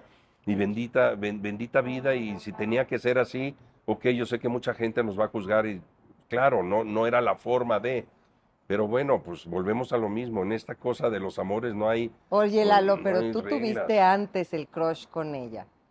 no, el crush, no, no, porque te digo, ella era una mujer que casada. Sí, pero Sí decíamos todos, obviamente, porque no nada más yo, que decíamos qué guapa mujer. Pero claro, cuando le empiezas a conocer por el trabajo y una novela tan larga, pues dice, le empiezas a conocer por dentro también. Y dices, bueno, esta mujer aparte de ser hermosa por fuera, es doblemente Ay, hermosa sí, por dentro. Tu mujer es linda. Porque además muy aterrizada, Pero muy ¿en qué momento pones las fotos de Mayrin en tu casa? Eso no, sin pero que eso, ella lo supiera. eso ya fue después. Ajá. Ya cuando entonces yo ya como fan de ella, a eso te refieres, ya sé, pero entonces ya lo nuestro ya se había publicado, ya sabíamos que andábamos y entonces yo la llevo a mi casa, que tenía mi casa, yo, ya- yo era soltero, Es que Y entonces- esto, por favor. los portarretratos, yo le quise dar una bienvenida, me acuerdo que a ella le encanta el sushi, entonces este, contraté sushi y todo, entonces le invité a comer y los portarretratos que había de la casa, yo lo que quería es que cuando ella, los pasillos, la sala, el comedor, como cualquier casa que tienes los portarretratos, Ajá, ajá. ahí estuviera ella. Entonces yo recortaba las revistas donde ella salía y las ponía en los si portarretratos. fotos Mi tu- esposa, mi esposa, sin Claro. ser esposo, pero yo la, eh, pues la idolatraba Es que tanto. vean qué la- gesto, es como decir, esta es la reina de la casa, Exactamente. ¿no? Y yo claro, hubiera, de- cuando- o sea, yo ahí en ese momento a mí me pasa eso y caigo derretida. No, se imagínate. puso bueno. Lágrimas, en los, lágrimas en los ojos y Guau. padrísimo, padrísimo. Pero yo, yo, pues, yo la, y la sigo amando y para mí era la mujer que Diosito tenía que poner en, en mi vida, ¿no? Y sí, y, y- y una amiga me lo decía, Eduardo, yo, yo te visualizo a ti y sí, es familia numerosa, la camioneta. Tu, fam- tu mujer tiene que ser muy guapa, muy bonita, este, tu familia eh, numerosa y tu perro, porque a mí me encantan los Ajá. perros. Y mira, dicho y Se hecho. te hizo Yo la- cuando el me caso, familiar. exacto, cuando me y la camioneta. Me caso con Mayrín, cinco hijos y el perro, porque ya venía en el paquete. Ya venía con un- una Ya chihuahua, traía se un ya una, una perrita chihuahua, este, manzana se llamaba Ah. ya, ya se fue. Pero sí, tal cual como lo, lo predijo así mi, mi amiga, Romina se llama. Este, te mando un beso, Romina. Tú sabes quién eres. Y este me dijo, es que yo te visualizo así. Qué esa es la fotografía a ti. La camioneta, el perro y la familia. Y mira, se me hizo, gracias a Dios. Fue, la conquista fue difícil para ti porque pues obviamente al ella terminar una relación, Ella tenía que terminar esa relación para poder estar conmigo. exacto, Pero no fue difícil. No, todo fue muy rápido. Se supo lo nuestro, Inés, y ahí están, digo, ahora sí empezaron que... los chismarajos, A fin de año dimos la, la- la exclusiva con, el, con la revista Hola, que fue el 31 de diciembre, y en enero ya nos estábamos casando. Vámonos. un mes, o sea, ya Claro, estaban seguros, vámonos. aquí es lo que hay, aquí Exacto, es. por eso te digo, al abismo. Los Wow. dos, ¡pum! Así. Y dijimos, va, va, va, con todo, con todo. Y tengo, tengo dos hijos, no me importa, venga, pues seremos más. Cuando se empieza a saber todo, supongo, Mayrina habla con Jorge, le dice, ¿sabes qué? Claro, Aquí ya no. claro. Si es verdad esto, Claro. si estoy enamorada. Como debe, y exactamente. gracias por y, eh, participar. exactamente. Y tan tan, así y fue. con los hijos. Y ¿Cómo, hablar- ¿Cómo y- se los dicen? ¿Cómo hablan con los Esa parte hijos? también, mira, también fuimos muy afortunados y gracias a Dios, porque claro, cuando tú entras a un matrimonio donde hay hijos ya de por medio, de ambos lados, la- lo primero que dices es cómo se van a llevar. Y cómo se van a llevar ella con ellos, con los míos, y yo con los suyos. Entonces, y si no los aceptan, híjoles, qué difícil. No sé si podré sostener esa relación. Una relación Porque no los se puede hijos- sostener si los hijos si no tienen hijos, química contigo, ¿eh? exactamente. Ahí sí, eso puede Exactamente, acabar. por muy hasta las manitas que esté, pero los hijos son los hijos. Ajá. Y fuimos bendecidos en eso. Así, para resumir, fuimos bendecidos porque mis hijos, cuando se conocieron con él, hicieron match inmediatamente. Eduardo Inmediatamente. Roberto se llama. ¿no? Eduardo y Roberto con Sebastián. Con Sebastián Romina. Y con Romina, Romina siendo mujer, y todos los tres hombres, luego, luego como muégano. Claro. Y para arriba, para abajo, y jugando, y pa, da, da, da, da. Y Romina ya se hartaba de ellos, ya cuando vivíamos ya juntos, agarraba, se encerraba en, la, en, en su cuarto y ponía un letrero, no molestar, pum, ¿no? Y ya claro, cuando llega Julia, otra mujercita. Entonces para Claro. Romina fue su muñequita, pues se llevan 10 Sí. años. Sí. Entonces, padrísimo. Pero nunca hubo de esto de, ay, las discusiones, los No. gritos, y tú no me hables porque tú no eres mi papá, y no me, a mí no me digas qué hacer con mi vida, y ya no, sabes el jamás, clásico. jamás, gracias a Dios, estaban muy chiquitos. Entonces yo creo que eso también nos ayudó. A lo mejor si vieran, y vuelvo a lo mismo, el tema de los valores y la educación Exacto. también es muy importante. Venían muy bien educados los niños de, exactamente. de Mayrín. Y a la fecha, a mí ¿no? me, ustedes porque me conocen, toda la gente que sabe todo mi cuento y mi película, de los míos, los pues ya, ya no tengo que dar explicaciones, pero de repente obviamente salimos y viajamos, la Y gente que no sabe, y se ve de cinco hijos, mamá y papá, entonces ven a Mayrín, se le acercan, la ven guapísima y dicen, los cinco son tuyos, sí, los cinco son míos. De hecho, ahora que Romina pues ya está emergiendo en sí, esta, en padrísimo, esta, bendita profesión. en esta profesión que ya se está haciendo conocida, ya lleva varios eh, eh, apariciones afortunadas, porque salió muy buena actriz, la verdad.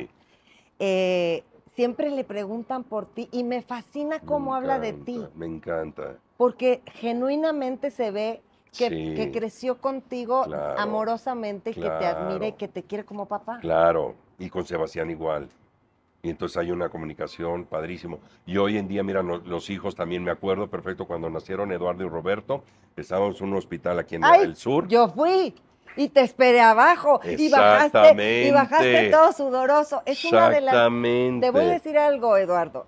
Ese momento es uno de los que para mí yo recuerdo de mis coberturas más significativos. Por el sentimiento que había, por cómo te vi bajando con Sí. esa sonrisa, decir, son dos Son niños. dos, no era uno, precios". eran dos. Eh, me recuerdo Sí. perfecto tu cara, tus expresiones. Sí, eh, sí, sí, sí. Qué momento, ¿eh? Qué bueno que En lo ese momento, saliendo yo al baño por un café, o vete a saber, en el pasillo, me encuentro una señora que estaba también enfrente con otra señora que había dado a luz y me dice, Eduardo, eh, te felicito por tus, por el nacimiento de tus mellizos, que no sé qué, que no sé cuánto. Eh, procúralos mucho porque sabes que los hijos son prestados. Cuando entren a secundaria, se van. Ay, señora, yo en el momento dije, ay, qué linda, muchas gracias y todo, ya me fui y dije, ay, qué exagerada. Sí. Pero obviamente yo, papá primerizo, ni por acá las palabras que me decía. Dicho y hecho, bendita señora, no me acuerdo ni quién eras ni tu nombre, pero palabras sabias. Los niños no son de ti. No. Los niños están prestados. Los niños van a hacer su vida como le hiciste tú, como le hice yo y como la van a, nos la vamos a hacer es. todos. Los hijos no son de uno. Sí, sí, sí. Yo fui el instrumento para que ellos llegaran a esta vida, pero los hijos se van y que se vayan. Entonces es cuando tú como mamá y papá dices qué buena chamba hicimos. Cuando no se van, que ya son treintones, cuarentones y siguen viviendo en tu Oye, casa. sí, ahí te preocupa. Ay, ay, ay, entonces qué mala chamba hicieron. Con todo respeto lo digo, porque sabemos de casos ellos que hay. volaron rápido. Volaron, de lo, ahora sí que como dicen, de los cinco que tenemos, de los Sí. hijos, ¿eh? ya nada más nos queda Julia. Ajá. Los otros cuatro ya se fueron, ya, Ya. volaron. Cada uno vive en su casa. ya en su depa. Wow. Ya. Sebastián empezó a trabajar desde los 16 años. Julia no se va de la casa porque tiene 14. Pero ella ya también. Imagínate con ese ejemplo de los hermanos que empiezan a trabajar a tan temprana edad Sí. y que ya son independientes a tan temprana edad. Ellos, Julia va a hacer lo mismo. No, a Mayrín y a mí no nos queda la menor duda. Y tú así Y todos, "Pi, pi, no, Mayrín pi". y yo estamos ahí ahora No, con perros, niña. con los perros, ¿no? Ya sabes eh, que el nido vacío y que empiezan estas cosas Ay, así ya que... sé, el nido Claro, vacío. y una gran lección que me dio muchas, por ejemplo, que dicen, yo conocí a Eduardo gracias a Mayrín. ¿Por qué? Porque con tu esposa, con tu esposo es con quien más te peleas eh, y eres auténtico. Ahí no hay estas cosas de, pues las caretas y eso, por más que quieras y todo, pues ahí No, estás no. al desnudo. Ahí como- Y uno como pareja, como matrimonio, sabes dónde, yo sé dónde a ti te pongo el dedo en la llaga y tú a mí. Sabemos porque nos conocemos. Entonces, bueno, eh, yo espero. No sí, hay para sé. matrimonios que no se conocen, puta, qué horror. Ya sé, qué no, que- horror. qué horror. No, no, no, pero los que sí nos conocemos Lo saben bueno y lo malo. todo y sabes dónde poner el, el dedo en la sé, llaga, ¿no? claro. Y entonces yo por eso digo que yo conocí a, a Eduardo gracias a Mayrín, porque claro, Mayrín me, me- me hace una radiografía completa de lo que es. Eduardo. Y me encanta porque cuando la prensa siempre les dice, oye, pero no hay celos entre ustedes. Mira, es que se está besando con tal actor. O mira, Eduardo, que el de... Ustedes se ven tan compenetrados, pareja tan segura de sí misma. Y siempre digo, es que se conocen bien. Claro. No tienen ya esa ¿Y bronquilla. cómo la conocí yo a ella? Por ¿Saben siendo actriz. Claro. Y ella cómo me conoció, conoce perfectamente este medio. Y entonces algo muy claro que tenemos ella y yo, el- hoy estamos juntos, mañana no sabemos. Nada más eso sí, como un pacto, ¿no? El día que ya no quieras estar conmigo me lo dices Claro. y no va a haber bronca.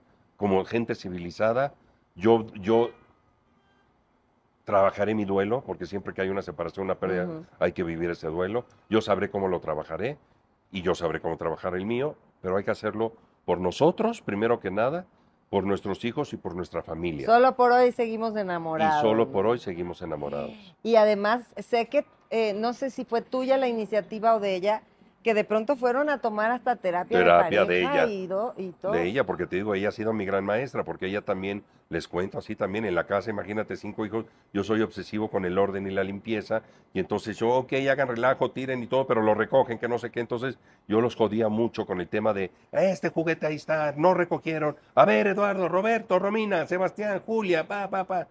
Y agarra y un día, y me ve, entonces ya me empezaba yo a angustiar y todo, empieza a subir el tono, Muy toc. Ajá, exacto, mi, era mi talk. Y entonces, y a la fecha es algo que sigo- tengo que seguir trabajando porque puta, yo, bueno, ya ¿Sí? eso te platicaré. Eres como el de la película de las sí, toallas no, que te exacto. ay no, qué miedo. Todo tiene que estar y, y Ven, un viene- defecto tiene. No, ¿eh? varios. Un defecto varios, tiene la pero bueno, ya estoy, no voy a la- ventilar todos, ¿eh? tampoco se crean, tampoco se crean. Oye, pero, y entonces me dice, ¿sabes qué, mi amor? El día que los hijos se van volando, ¿sí? El día que ya no tengas que recoger ese juguete, vas a ver cómo vas a llorar esos, esos días. Oh, Y mira, dicho y hecho, ya no recojo ese juguete. ya no están. Ya, Ya no hay no juguetes está. que recojan. Entonces, ay, Dios mío, dice, sí es Se cierto. pasa el tiempo. y le bajé tres rayitas, por supuesto que Ay, le bajé. bueno. Dije, claro, Sí, siempre. En Entonces, todos los matrimonios que- hay unos ajustes y desajustes, Claro. pero nunca han estado al punto del divorcio No, o al punto gracias de a la Dios. separación o No. dejarse de hablar una semana o un mes. no, no, no, no, no, no, hay que hablarlo, hay que hablarlo y de repente enojados no hay que hacerlo. Entonces, ahora sí que team back, agarro, mi ya cuando estoy bien, si necesitas más días, un día, generalmente no pasa mucho, porque tampoco hay que dejarlo, ¿no? Hay que hablarlo y hablarlo en el momento. Pero es lo bueno las segundas vueltas. Claro, porque se lleva uno las corrido, ajá, pero ¿sabes qué te ayuda mucho la terapia? Porque hay gente que lleva dos, tres, cuatro vueltas Y no, y, nada. Oye, nada más las agarran más jovencitas Sí, o más jovencitos, sí, normalmente suelen ser más jovencitas. más ¿no? jovencitas. Sí. Entonces dices, ay, no, Dios no tenemos mío. la suerte las grandecitas de agarrarnos. No, bueno. Yo por eso me quedo con lo que hay. Ah, Sí, no, no, no. Y- pero la terapia, vuelvo a lo mismo, la terapia, esa ventana, ese espacio que tienes, que es tuyo, Sí. gasta uno en todo. Ay, Eduardo, es que de repente no hay dinero y son muy caras. Esos son pretextos, porque hay de terapias a terapias como todo. canasta básica. no, ¿no? canasta básica, tú tienes que incluirlo en tus gastos, tienes que incluir y darte ese espacio por ti, ni siquiera por tu esposa ni por tus hijos, por ti Exacto, primero que nada. Exacto. Es un acto egoísta, pero es un acto de amor. Oye, Lalo, ah, el tema de, de Julia, de, de su, De su piernita. de su piernita, Sí. que, es, que, fue, que dice, es un mal congénito. Es un mal congénito, ella nació con una piernita izquierda más corta que la, que la derecha. Este, se llama encondromatosis. Es un tumor que invade el hueso y entonces impide el crecimiento como el tuyo o el mío, Sí. o el de su piernita de la forma de... Entonces, ¿qué pasa? Que ella va creciendo conforme todos vamos creciendo con la edad, va que desarrollando sus huesitos, pero el encondroma no le deja desarrollar el de la Uno pierna de la- izquierda y entonces se va quedando, empieza la diferencia, ta, ta, ta, ta, ta, ta, ta, Claro. y entonces lo que hay que hacer en la pierna izquierda es un proceso que es cada cuatro años. De hecho, el próximo año nos vamos hacer, Dios quiera, ya sea el último, no sabemos. Si es el último, bien, y si no, ya va a ser de los últimos. Porque la mujer, en cuanto tiene su primer periodo, eh, ya deja de crecer Sí. en cuestión de su, sus Y ya huesitos. pueden ajustar completamente. Y entonces ya ahí puedes ajustar, Ay, exactamente. Entonces a Julia, por ejemplo, ya tuvo su primer periodo, ya dejó de crecer, ya el estirón que tiene ya no va a crecer más, si acaso un ¿Quién centímetro. sabe? Porque pues mira de esto, quién ¿no? es hijo. No, ¿verdad? pero ya, ya, ya está bastante garrochona. Sí, ahora sí que sa- Sí, salió la vi la presentación de la novela ahora de... Sí, sí, de salió. y. Pasó a Mayrín. Ajá. De estatura está más alta que. Mayrín.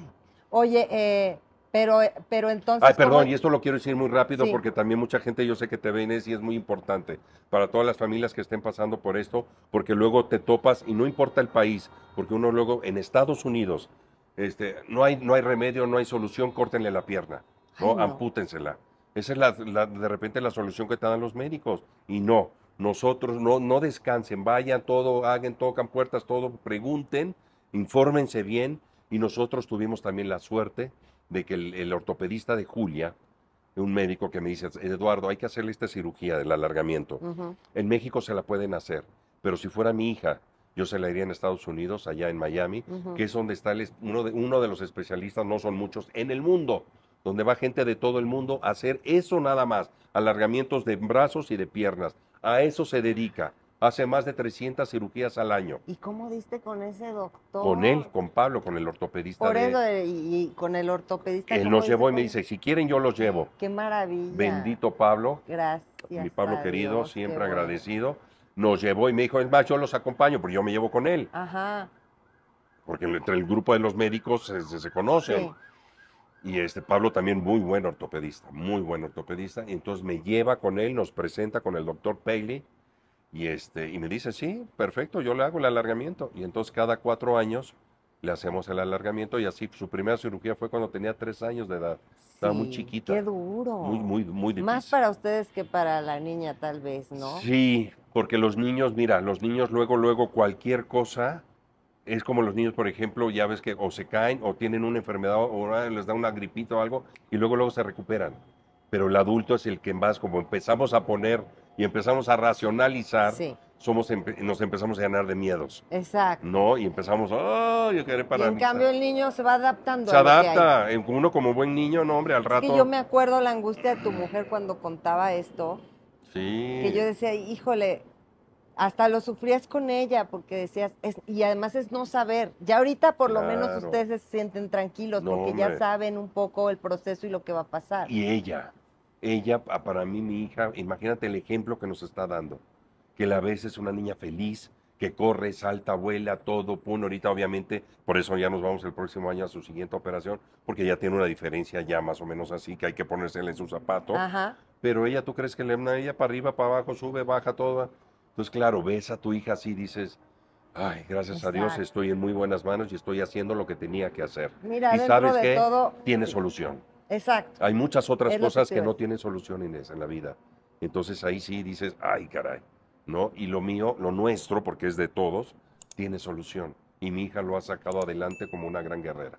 Y no se conformen con el primer este, No, por favor, no, no, síntoma no, y el pregunten, primer- no, no, no. Vayan, pregunten, Vayan, sí, lúchenle. no, no, no. El es más, no es una el- cirugía, ya para irnos a otro tema, es una cirugía que hasta por vanidad, fíjate, pues nosotros, imagínate tantos años que ya llevamos allá en, esta, en este hospital con el doctor Paley, que van muchos asiáticos, sobre todo para mujeres, estirarse. Para estirarse, para ganar unos 4, 5, 6 centímetros. Pero por un tema de vanidad, porque allá ya ves que Claro, ellos claro. son, son bajitos. Por un tema de vanidad. Así que por favor, si tienen un caso así en una familia, un conocido, primero pregunten, pregunten y vayan. Oye, Eduardo, pues ahora sí, vamos a este tema que a mí me gustaría. me- Fíjate, vi una entrevista que le diste a René Gómez que me impactó mucho. Ah, qué bueno que la viste porque justo te iba eh, te iba a platicar de René. Me impactó mucho. Tú lo conoces. Lo conozco perfecto. Claro, Viví compañero- mucho, mucho su compañero proceso tuyo. cuando cuando de pronto no supimos de él porque estaba encerrado en un hotel, todas hotel. estas cosas. Quien no ha padecido este esto del alcoholismo a esos niveles, por Sí. ejemplo, porque hay muchos tipos de alcoholismo, ¿no? Bueno, el alcoholismo es uno, pero sí, obviamente el, el alcoholismo lo que tiene es que es una enfermedad y que es progresiva y mortal. Entonces es cuestión de tiempo. Entonces va, va para arriba siempre. El alcoholismo no es de que, ay, aquí lo frené y va a bajar. No. hay mucha no, gente no, que cree eso, ¿no? Ah, y se muere engañado. Sí, pues qué triste. No, qué triste, porque como bien nos dicen en los grupos, esto no es para todos. Claro, al principio no lo entiendes, pero cuando empiezan a morirse alrededor tuyo, porque esto es de vida o muerte. Esto es una enfermedad de vida o muerte. O acabas en el cementerio, o acabas en la cárcel, o acabas en un hospital psiquiátrico. No hay de otra, Tu papá muere de cirrosis. de cirrosis. Ahí le acabó en un hospital y de ahí en un cementerio. Y tú ya llevabas varios años tomando. Sí, yo empecé a tomar, mi primer contacto con el alcohol fue a los 15 años. Oh, sí, claro, en, los, en las fiestas. En las y en fiestas, todo entonces yo más o menos tuve una actividad en el alcoholismo como 15 años también. pero la vas llevando, vas, vas sorteando la fiesta, Socialmente. socialmente, el cuerpo te aguanta, Claro, ¿no? porque además la, la resistencia es diferente. Ajá. Lo que tú aguantas a lo que aguanta mi compa, a lo que aguanto yo. Yo por mi tamaño, imagínate lo que imagínense ustedes. caro. Salía muy caro y entonces yo en las borracheras lo que hacían iban cayendo, iban cayendo, porque te estoy hablando borracheras de días. Ajá. Iban cayendo, iban cayendo. No, no se me duerman, así como el que se enojaba y lloraba. No, no, no, no se me duerman. Entonces, para que no se fueran a dormir, yo agarraba los colchones y los ponía en la pared, los quitaba de la cama y los paraba así. la- Nadie, aquí no ¿Cómo se duerme. Y se duerme. Entonces, por eso acaba solo, Inés. Porque nadie te aguanta el ritmo. Y acaba solo en, uno, en un hotel. Porque entonces en tu casa, si tienes pareja, pues te va a estar jodiendo ahí. Si tienes familia, que generalmente todos tenemos una pareja o mi familia, Ajá. gracias a Dios, pues te van a estar a- a- acechando ahí. Entonces, para que nadie te moleste, tú agarrabas, apagabas tu teléfono y te encerrabas en un hotel con todo tu... Ahora sí que como la película, bueno, hay tantas películas, pero una película que a mí me grabó la que hizo este... Ay, ah. Bueno, ahorita me- el- Eh, que, eh, es, que, sí. que es acerca del Sí, alcoholismo. el de Las Vegas. Exactamente. El de Las Vegas. Exactamente, cómo llenaba el carrito de botellas y se encerraba. Pues así, tal cual. Así, tal Pero ¿y cual. qué pensabas en ese momento? Nada más en, en beber, o sea, es una obsesión de la Claro, mente. y no puedes parar. Esa es la diferencia, como me dicen, muchos me preguntan esto, Inés, y aprovecho aquí tus micrófonos y cámara. ¿Cuál es la diferencia, Eduardo? Miren, es muy sencillo, no nos hagamos. Es muy sencillo. Y uno sabe, en el fondo, cuando tienes el problemita o tienes el vicio, no como, es que tiene el vicio, el problemita, no. Ni es vicio ni es problema, es una enfermedad y se tiene que atender tal cual como cualquier enfermedad, como el SIDA, como, la, como el cáncer, como la diabetes, como, cual- como una gripa, cualquiera.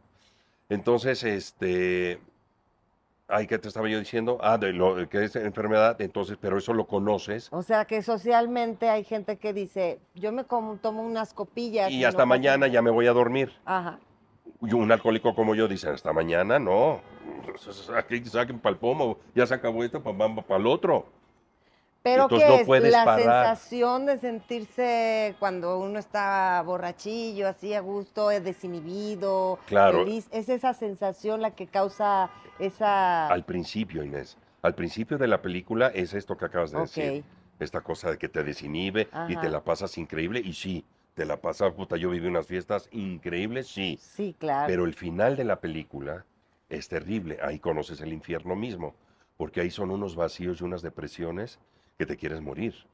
Te quieres suicidar. Eso es cuando ya empezaste tú a encerrarte en los Claro, y hoteles. te empiezas a eso. aislar, te empiezas a aislar porque ya quieres estar solo, empiezas con paranoias.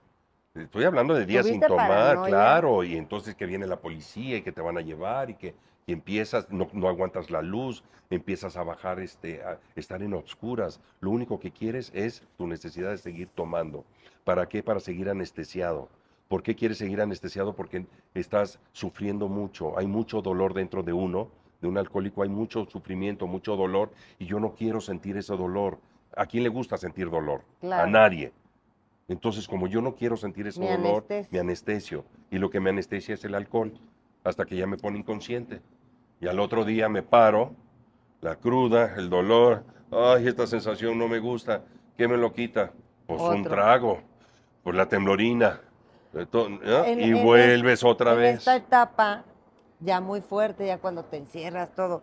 ¿No estabas ya trabajando? ¿No? Sí, claro. Entonces, de pronto trabajabas y luego ibas y te encerrabas. Muchas veces llegué, llegué a mi trabajo este, alcoholizado, cuando el, que eres joven, entonces que llegabas en vivo, en vivo, porque decías, pues claro, ah, claro, tenía yo veintitantos, todavía no veintitantos años, Y, y notaban que llegabas. Por supuesto, tú, tú pensabas que nadie se daba cuenta.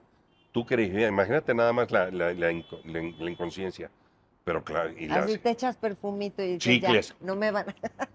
pero ¿sabes qué? Sudabas alcohol, por Dios me ha santo. tocado, ¿eh? Me- me ha- Me, ha Claro. tocado. este, Compañeros, compañeras sí. que las abrazas y te hueles alcohol. Es como el que fuma. Por Sí. más que te bañes y todo Totalmente. eso, tu ropa, claro. tu, tu ambiente, a una casa de un fumador, inmediatamente, por muy limpia que esté, sabes que hay alguien ahí fumando. En los hoteles, ahori- ahorita porque ya prohíben Ya este no fumar, pero tú entrabas a un cuarto de hotel cuando se permitía fumar, puta madre, y enseguida, ¿no? Oye, Con el eh, alcohol eh, pasa ¿no igual. estabas casado en ese tiempo?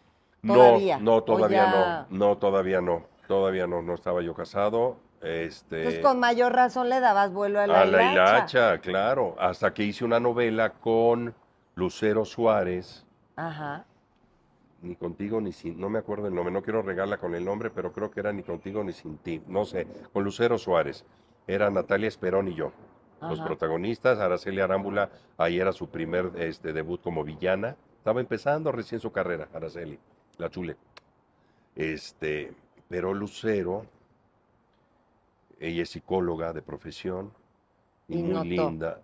Claro, un día llegué, fue la única vez que lo hice, porque todas las otras veces lo pude sortear, Inés. Lo pude sortear. Diosito fue grande. en ese sentido, porque claro que se daban cuenta y todo, pero bueno, ahora le va. Y entonces ese día ya no pude grabar porque se me notaba mucho. Te arrastraba la lengua. Oye, no dame chance y al director y todo, y hace siempre me los... No, Eduardo, hasta que me dijeron, no se puede, vamos a cortar el llamado, se te nota mucho, lo estamos haciendo por ti. Vete a tu casa a descansar y ya mañana nos vemos en el llamado. Yo dije, ya me van a correr de la novela. No estaba eh, el lucero en ese momento, en esa locación, era una locación.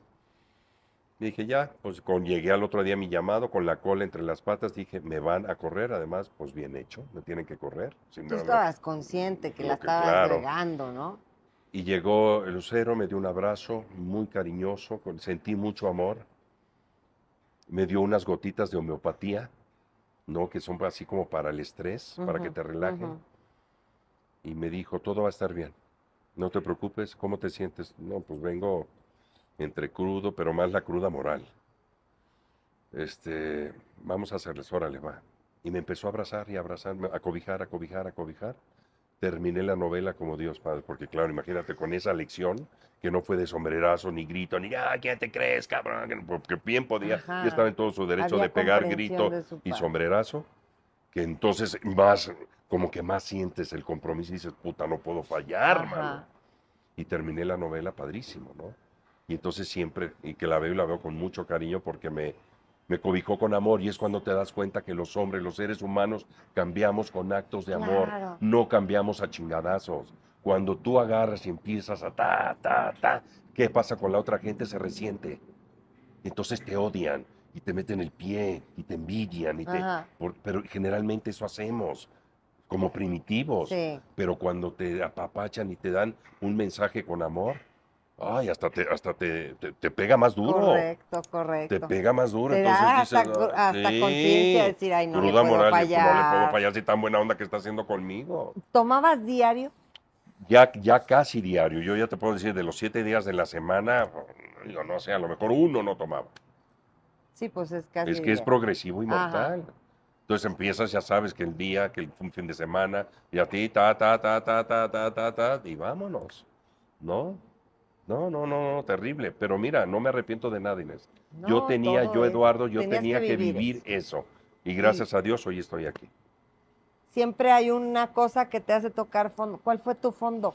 Mi fondo fue, fíjate, no fue de pérdida, este, porque esta, esta enfermedad es de pérdidas. Y qué, qué buena pregunta me acabas de hacer, porque ¿cómo es que viene la aceptación? Si no viene la aceptación, la aceptación es una palabra mágica que la puedes emplear nada más, no nada más en los, enfermos alcohólicos, en cualquier parte de tu vida, en cualquier área de tu vida, si tú tienes aceptación de algo, vas a poder transformarlo, lo vas a poder cambiar. Pero si no hay aceptación de decir, chin, sí la regué, sí hice esto, sí, ay, no, sí, aquí fui un gacho, sí, aquí le robé tanto, sí, aquí yo. Si no hay aceptación, no puedes no puedes cambiar ese defecto de carácter. Entonces, primero tiene que haber aceptación. ¿Y qué es lo que te hace tener aceptación? Un fondo de, sufrimiento. Tiene que, los fondos son dolorosos. No hay un fondo que sea, no, eso no existe. Y entonces, para mí fue, eh, imagínate tú que yo volteaba a ver todas las áreas de mi vida, mi familia, hermosa como siempre, hasta la fecha que sigue siendo. Mi trabajo, que mira cómo me estaba yendo, que yo con todo mi alcoholismo me daban y me daban proyectos y, éxitos y pegaba yo exitazos, ta, ta, ta, ta, ta. Eh, mis amigos, tenía yo amigos, bueno, y muchos cómplices, obviamente, pero una vida social muy padre, todo, dinero. Tenía dinero, Inés. Entonces me iba yo, eh, yo toda, increíble, pero no me gustaba nada, no me sentía yo a gusto con nada de eso. Tú imagínate el fondo de sufrimiento de eso. Tenía todo y a la vez, no, tenía nada. ¿Por qué? Porque no me gustaba nada. Eduardo no le gustaba ni el agua fría, ni el agua caliente, ni el agua tibia no le gustaba nada. Yo podía ir al Estadio Azteca con 20 mil personas ahí y sentirme el hombre más solo. Entonces está, está canijo eso. otra, otra cosa que me pegaba ya cuando empezaba yo con mis depresiones, porque haz de cuenta, te va, pa, pa, pa, pa, pa, pa, pa, y empiezan las depresiones, depresiones, hasta que llega el tema del suicidio.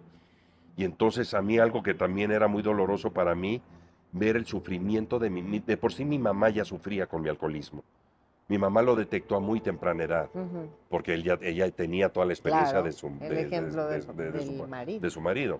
y siempre me decía esta frase que yo odiaba a mi mamá. Vete en un espejo, Eduardo. No se está siguiendo los mismos pasos de tu papá. Y yo, ay, ya cállate, que no sé qué, ah, tú porque no me quieres y tú porque no lo quieres a él y por eso. No, y da más coraje porque uno sabe por dentro que tiene Que razón. tiene toda la razón, tiene toda la razón. Y entonces, este... Te sentías hundido. Claro, de verla, eh, haz de cuenta, entonces yo me hacía, todo esto yo lo, lo- lo hacía en mi mente. Accidente, pum, accidente automovilístico porque venía hasta las chanclas, paz, choqué, me muero en el accidente, yo veía cómo me sacaban del carro, el carro hecho pedazos, me llevaban, estaba yo en la morgue, todo tapado, todo eso yo lo tenía perfectamente. Como tus fantasías catastróficas. Exactamente ¿no? así, tal cual y todo. Destapa, viene mi mamá aquí parada, me destapa. Es su hijo, porque ya ves que tienes que reconocer. Sí, sí es mi hijo, mi mamá ya sabes, llorando y todo. ¿De qué murió? Pues de accidente y eso, pero además, señora, venía hasta las manitas de alcoholizado. Entonces tú imagínate el doble sufrimiento para una madre un padre eh, de saber de que, bueno, te mataste en un accidente automovilístico, como se han matado mucha gente, pero no en su sano juicio. O sea, como que es doble la estocada. Claro, ¿Me pero entiendes? Es peor. se lo buscó, como quien dice. Claro. Y para un padre, para una madre, ¿sabes Y qué? tú, y tú pensabas en, Porque el un momen- padre y en una ese momento, tú pensabas Yo "Esto puede recreaba en mi pasar". mente todo eso. Todo eso, y entonces más me hundía, más me hundía, y decía, yo no puedo, Dios mío, no puedo, no puedo, no puedo darle a mi mamá ese dolor. Yo no me puedo ir de esta vida. Si yo me voy y me tienes que llevar, ok, llévame. Pero no, no, no de esa forma. Todos nos vamos a ir algún día en nuestra vida, eso es lo único seguro que tenemos en esta vida. Pero yo no quería darme, una que me ha dado tantas cosas, tanto amor, que me sacó adelante. Tal vez eso te detuvo a que atentaras contra tu vida. Claro, por el supuesto. pensar en tu madre, por pensar en tu supuesto, familia. por supuesto. Porque si no, a lo mejor si hubieras atentado contra tu vida, no Por tenías ningún supuesto, aliciente, ¿no? Claro. Decir, Y ya era quiero cuestión- amanecer muerto. Y ya. era cuestión de tiempo, o una congestión alcohólica, Ajá, claro. o en un accidente automovilístico. ¿Drogas te metías en esos momentos? Probé, probé las drogas, sí las probé, porque también cuando andas en eso, pues sí. Claro. Pero lo mío, lo mío era el, el- el alcohol, eso fue el- mi droga. Porque la sabes que, que el clásico tengo que trabajar, entonces el pericazo Sí. para nivelar. Una para subir y otra para bajar, una para subir y otra para bajar. Lo probé, pero no era, no era lo, el cigarro también, no era lo mío. La mota también, no era lo mío. Y hasta ahí llegué. Ya gracias a Dios el fentanilo no lo había, mano, en mi época, pues también No, seguramente le ha de haber entrado, pero no. Oye, entonces Gracias tu a Dios, no. Mi fondo de sufrimiento fue, fue esa, esas depresiones, esos vacíos, de tener todo y no disfrutar nada. Mi mamá me decía cuando iba yo a Veracruz en Ajá. vacaciones o algo, con lágrimas en los ojos también me decía, Eduardo, si vas a venir así, mejor no vengas. Entonces imagínate para mí lo que era, porque entonces yo llegaba, ya llegué mamá, no, no, no, no, no, me desaparecía todos los, una semana, 15 días, 10 días, lo que iba, y hasta el último día, bueno, ya me voy. ¿Por qué? Porque me la pasaba de pachanga y pachanga. Y entonces ir, yo, pues, si me iba en avión o si me iba en coche, porque muchas veces lo hacía en carro, y yo también tener esa, ese rostro de mi mamá diciéndome, si vas a venir así, mejor no vengas. Imagínate el dolor que le daba a mi mamá verme así. Y yo iba en la carretera, así me acuerdo, y con esas palabras y ver la imagen de mi mamá. Eso, esos son fondos que, de, de- de sufrimiento para mí. Esos fueron fondos muy dolorosos para mí. Fueron los que me hicieron tener aceptación, gracias ¿Cómo llega la aceptación? ¿En qué La- momento la te aceptación- ingresas? Te... La aceptación, fíjate, no la tuve fácil. La primera vez lo, lo hice, entré a una clínica aquí a Montefénix, Ajá, que está muy aquí en el sur de la ciudad, por el Panteón Jardín, sí. al ladito. Y entré, pero ¿sabes qué? No entré convencido porque no había aceptación. Entré porque mi familia, obviamente mis hermanos y mi mamá, me hicieron bolita. que es La lo que- intervención, la que, intervención se llama, que se llama, Ajá, de que te exactamente. leen cartas y mira Claro, hermano. y- exactamente. Y entonces dije, para que estos me dejen de estar jodiendo, me voy a meter. Y claro, salí, son cinco semanas, salí, pero pues no, no había aceptación, entonces era cuestión de tiempo que iba yo a, A una a- fiesta. a- a una- regresar, a, a a recaer otra vez. Y dicho y hecho, pasó la recaída, ¿no? Y este, pero ya estás vacunado, que es como nos dicen en, en- en los grupos de AA. Ya una vez que entras a un grupo, a una junta o entras a una clínica, ya estás vacunado. Ya, Eduardo, tú sales aquí, tú sabrás si vuelves a tomar o no. Pero lo que sí te podemos asegurar es que esa primera copa, si, te- si decides seguir tomando, ya no te vas a ver igual que como la que te sabía antes de que tú entraras a, porque claro, ya tienes conciencia. de La que esto es copa una- amarga. ¿no? amarga, como decía nuestro querido Aarón. Porque sabes lo que estás haciendo. Exactamente, y aún así te la estás tomando. Puta, eso es otro fondo muy, muy cabrón de, de- de- de sufrimiento. Seguirte alcoholizando sabiendo que eso no está bien para ti. Es horrible. Ya la borrachera no te sabe igual. Lo hice y ya, como ya estaba vacunado, agarré.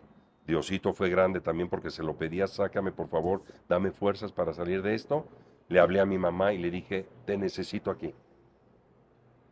Volví a tomar, necesito porque alguien te tiene que acompañar a la clínica porque tienen que firmar ahí unos papeles, obviamente, una responsiva.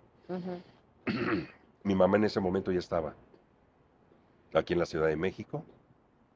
Nos fuimos a comer y de ahí me fui con ella y me internó en la clínica por segunda vez. Y ya al día de hoy, gracias a Dios y ¿Cuánto solo tiempo por hoy, se, se interna? cinco semanas. Cinco es lo que semanas. dura el tratamiento y dependiendo como te vean, Ajá, según el sapo la pedrada, claro. este, pueden ser seis. Pero o tú ya habías siete. aceptado soy alcohólico. Sí. Bueno, no, no, no, no, en la primera no, No, acuérdate, no, hay en esta segunda. Sí, ya dije, no más. Claro, ya estaba yo vacunado en ella, ya no tenía yo ya para dónde hacerme. Y dije, ¿sabes qué? Ya, no más, ya no quiero esta vida ¿Cuántos para mí. años sobrio? Pues mira, mis hijos tienen 23 y nunca me han visto. Yo cuando me casé con Itatí, esta Ajá. boda que tú dices, Sí, esa que tú fueron, yo estaba sobrio totalmente. Gracias a Dios. Si no, yo en esa boda, si no hubiera estado este, sobrio, o digo, si no hubiera pasado por la Ajá. clínica, en esa boda, cómo hubiera terminado, ni me acordaría de mi boda. Me Claro. acababa hasta las chanclas, Claro, obviamente. ¿No?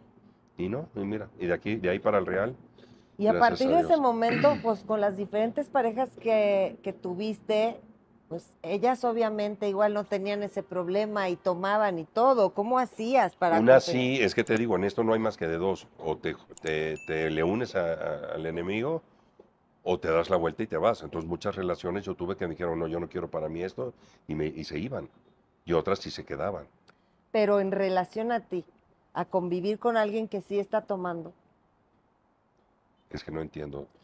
Que O tu sea, no pareja hay- sí tome, que tú digas, Claro, yo ya yo tomé tuve, la... tuve parejas. Ajá. Ah, no, ya yo ya estando, ya haber salido de la clínica. Haber salido de la clínica. Yo ya no podría, por ejemplo, estar con una, una mujer así. Te iba a decir. No, ya yo- no yo- pudiste tener parejas que tomaran. Exactamente, ya no. No, ya, no- ya no, ya no permites eso en tu vida. Ya no. Y entonces me llega Mayrín, y Mayrín, por ejemplo, este, No, no bebe nada. nada. Súper sano. Ella, en ese sentido, el tema del alcohol para ella es, mm, no, no puede. Y mira, entonces ahí, Qué maravilla. maravilloso. Y en ese tiempo no te abotagabas del Claro. alcohol? No te de- no decías, Claro. híjole, lo van a va- notar mis no, fans. y te o digo, la-". y, pero bueno, eh, bendita juventud, Inés. Sí, claro. Si ahorita eso yo lo hubiera hecho ahorita a mis 55 años, no, por supuesto que... Pero la eh, juventud divino tesoro. Ya sé. Juventud divino tesoro, por eso aguantas. Ahora, tú siempre has estado cubeta guapo, con- Santa Marina. Algo hace, mira, algo hace. Se va de vacaciones. Gana sus kilitos. Sí, A gusto. No, no creo que te, te prives de comer tus cosas o te vas a dulcero. Veracruz de tus No, hombre. viajes y todo y subes. Y de pronto, novela, pum, Pum. lo ves bien. ¿Cómo haces? sí, pues, uh, pero ya no lo tengo que hacer así tan, porque ya, ya, ya no tengo 18 años, entonces ya. ¿Verdad de- que si has uno- podido hacer eso a cada rato, de que bajas claro, de peso? ¿Qué Bajo y haces? subo, bajo y subo. Pero además, este, hablando de salud, no, no es bueno, no es recomendable. Por tu corazón, todo. No, no, no, no lo hagan. No lo hagan, no lo hagan. Pero es que sabes que a mí el dulce me pierde. Es que sí, Soy muy privarse- dulcero. A ustedes puedo- les gusta mucho viajar también. Sí. Entonces, pues en el viaje ni modo que ahí estoy a dieta, Sí, una ensalada, no, por no, favor. No, o sea, no, no, no, no, me voy y me dejo ir, pero ya no lo debo hacer, Inés. Aquí entre nos te lo digo, ya no lo, ya no, hay que, ya, porque te digo, ya no, ya no bajo tan rápido, obviamente. Tengo 55 años, ajá. ya no soy ningún chavito. Entonces, claro que me cuesta más trabajo, ¿no? Pero, pero bueno, por aquí. Oye, Eduardo, ¿cómo te ves en, en, en algunos, en varios años? ¿Tú eres de los que dice, me muero en un escenario o quiero no. retirarme o ya tengo otros negocios por ahí, ya esto ya no... Sé que es una frase em, romántica y me gusta. Yo también me considero un hombre romántico. Y me gusta esta de morirme en un escenario, me gusta, porque además yo, bendita profesión, amo vivo, el mayor ingreso que tengo en mi vida es gracias a esta profesión y con esta profesión he saca- sacado adelante a mi familia. Este, pero es, pero sí me gustaría morirme en mi casa con los míos, no en un escenario. Claro, sé, que claro, es una, sé que es una metáfora que usamos, ¿no? es algo figurativo, exacto. ¿Por qué? Porque dices, amo esta, esa profesión que sí, me gustaría morirme O sea, eh, en el escenario. nada. Retirarme nada. Hasta cuando yo ya vea que ya no estoy lúcido, en ese momento, pum, enciérrenme en mi casa y ahí, este, y ahí lo que tenga que vivir ahí. Mismo plan de vida tiene también Mayrín, Sí, sí, también. Que los roles de que les dan van cambiando, luego van a ser los papás, los abuelos, los lo- lo que abuelos. sea. Ahorita yo ya estoy en los papás, el día de mañana ya voy a estar haciendo abuelos. Y bienvenidos sean los abuelos. No y eres mira, de los que hay, no, si no, me dan el protagónico no, ya no. No, no, no, no, no, ya, ya no, no, no, no. Y eso, yo ya lo hice 30 años. Yo encabecé 30 años. Sería muy mala leche de mi parte. No, no, además, es, es ilógico que no lo aceptes. Pues quieras o no, lo tienes que aceptar, porque pues el, el tiempo no se detiene. Los años eh, te cobran factura tarde o que te, por muy bien o mal que te cuides. Obviamente, si te cuidas muy bien, pues estiras la liga un poco más Claro. pero obviamente van a, los chavos que llegan, las nuevas generaciones, y por supuesto que van a ser los que van a estar encabezando y van a ser los que están de moda, co- como me pasó a mí. Eso nadie, nadie se salva de eso. Si tú nadie. quitaste a los zuritas y a los camachos de, los- de los protagónicos. Nadie se salva de eso, nadie se salva de eso. Y así como yo encabecé, ahora ya están llegando los nuevos chavos y están encabezando. Y cosa que me, que me enorgullece mucho. Y por eso siempre traigo en mi memoria el día que, imagínate tú el acto de amor que tuvo Angélica Aragón, lo que les platiqué, Sí, de que se paró y me dio masaje. así, con esa... Imagínate yo siendo un perfecto desconocido y ella ya era la gran actriz. Eso no pasa, ¿eh? Casi ¿Eh? nunca. Imagínate yo que me voy a poner ahora así ¿Y tú con, mis, eres con los con mis chavos compañeros el más amoroso, hasta con un extra. Que si ya ves que Lo los extras consta. llegan y se, pon- se ponen todos, nos ponemos nerviosos y todo, pero el extra todavía, pobrecillos, se ponen más y, se, y la repites y la repites, no te preocupes, y órale, y otra, y otra, mijo, y van, y van, no pasa nada. Sí, la gente fue muy cariñosa y muy amorosa conmigo. Oye, ¿cuál fue la, la peor experiencia en una telenovela o con algún productor y la mejor experiencia? Ay, ahí sí te voy a fallar porque sabes que nunca también eso me jacto, gracias a Dios. Nunca he tenido un sí, un no con un productor o con un compañero o compañera de ¿De trabajo. veras? Nunca Hasta el día de hoy, ¿eh? de Nada, ni una mentada de madre. Ni un renuncio porque este no lo aguanto. No, al contrario, pues no te digo que hasta me empataba yo con ellas. Entonces, no, no, Hasta no. salía de- con novias, No, hombre, hasta salíamos ya, exacto. Sí. No, gracias a Dios. Y con los productores, escritores, directores, siempre muy... Pepe Elías Moreno, pregúntaselo a él. Me dicen, es que trabajar contigo, Eduardo, es una, y es una garantía y una tranquilidad, porque él también, ya ves que es actor y también dirige, y él me ha dirigido. Ajá. Y me dice, tú tienes muy buen camerino. ¿Qué quiere decir? Que armas un muy buen ambiente de trabajo. Entonces, eso se contagia. Claro. Como se contagia también, si no tuviera yo sí, esa buena vibra, también se contagia. Claro. La mala vibra se ¿Cómo contagia. Yo, yo he estado presente cuando así entre viendo cast, así de, no, es que es bien conflictivo. conflictivo o bien conflictiva. No, te va a salir renunciando a media novela o no, no, llega, te la va a dejar tarde. Sí, sí, sí, sí, sí, sí, sí, sí. Eso, gracias a Dios, a mí no. No me, no, no me, ha pasado. Yo he terminado muy bien con todos y con todos. Y la más gozosa es el momento que tú recuerdes súper gozoso que, Pues que mira, hayas dicho, de mis dos "Híjole, me proyectos- encuentro en lo mejor de la vida. Definitivamente fue, por ejemplo, tres que marcaron mi vida. La primera, de Frente al Sol, la que les platiqué porque Ajá, fue mi primera, Carla ajá. Estrada. Además, mi primera con un muy buen personaje y, este, y en mi tierra. La segunda fue Marisol, que fue mi primer protagonista, yo ya encabezando al lado de Erika Buenfil. Sí. Ahí también gracias a Juan Ahí Osorio. hubo romance.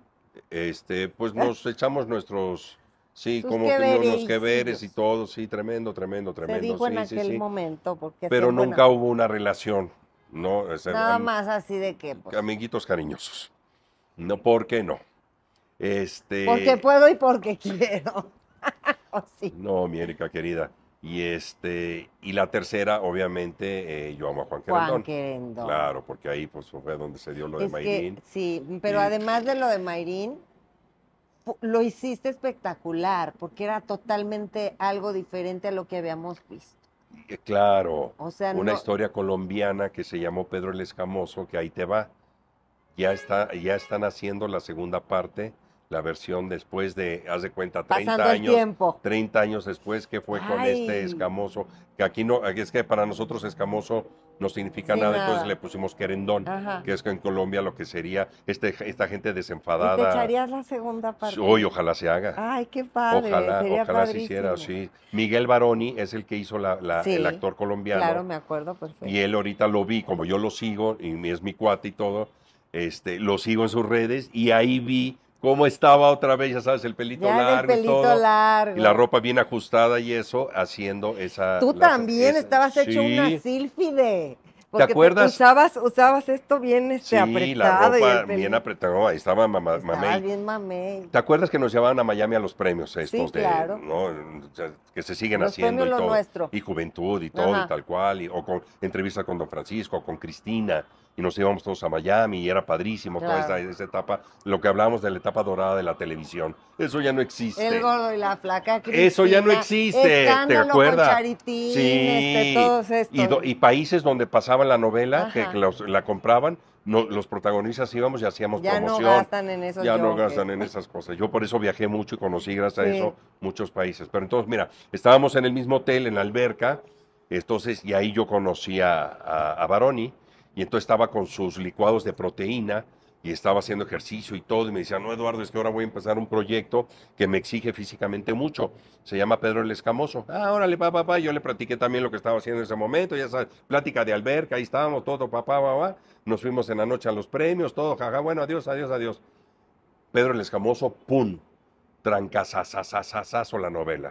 Televisa compra los derechos y la hace Mapada aquí en México, pero años después, Sí, sí. y la hago yo. Con el mismo que estuvo en esa alberca. Qué chistoso. Qué chistoso, de eso que dices, wow.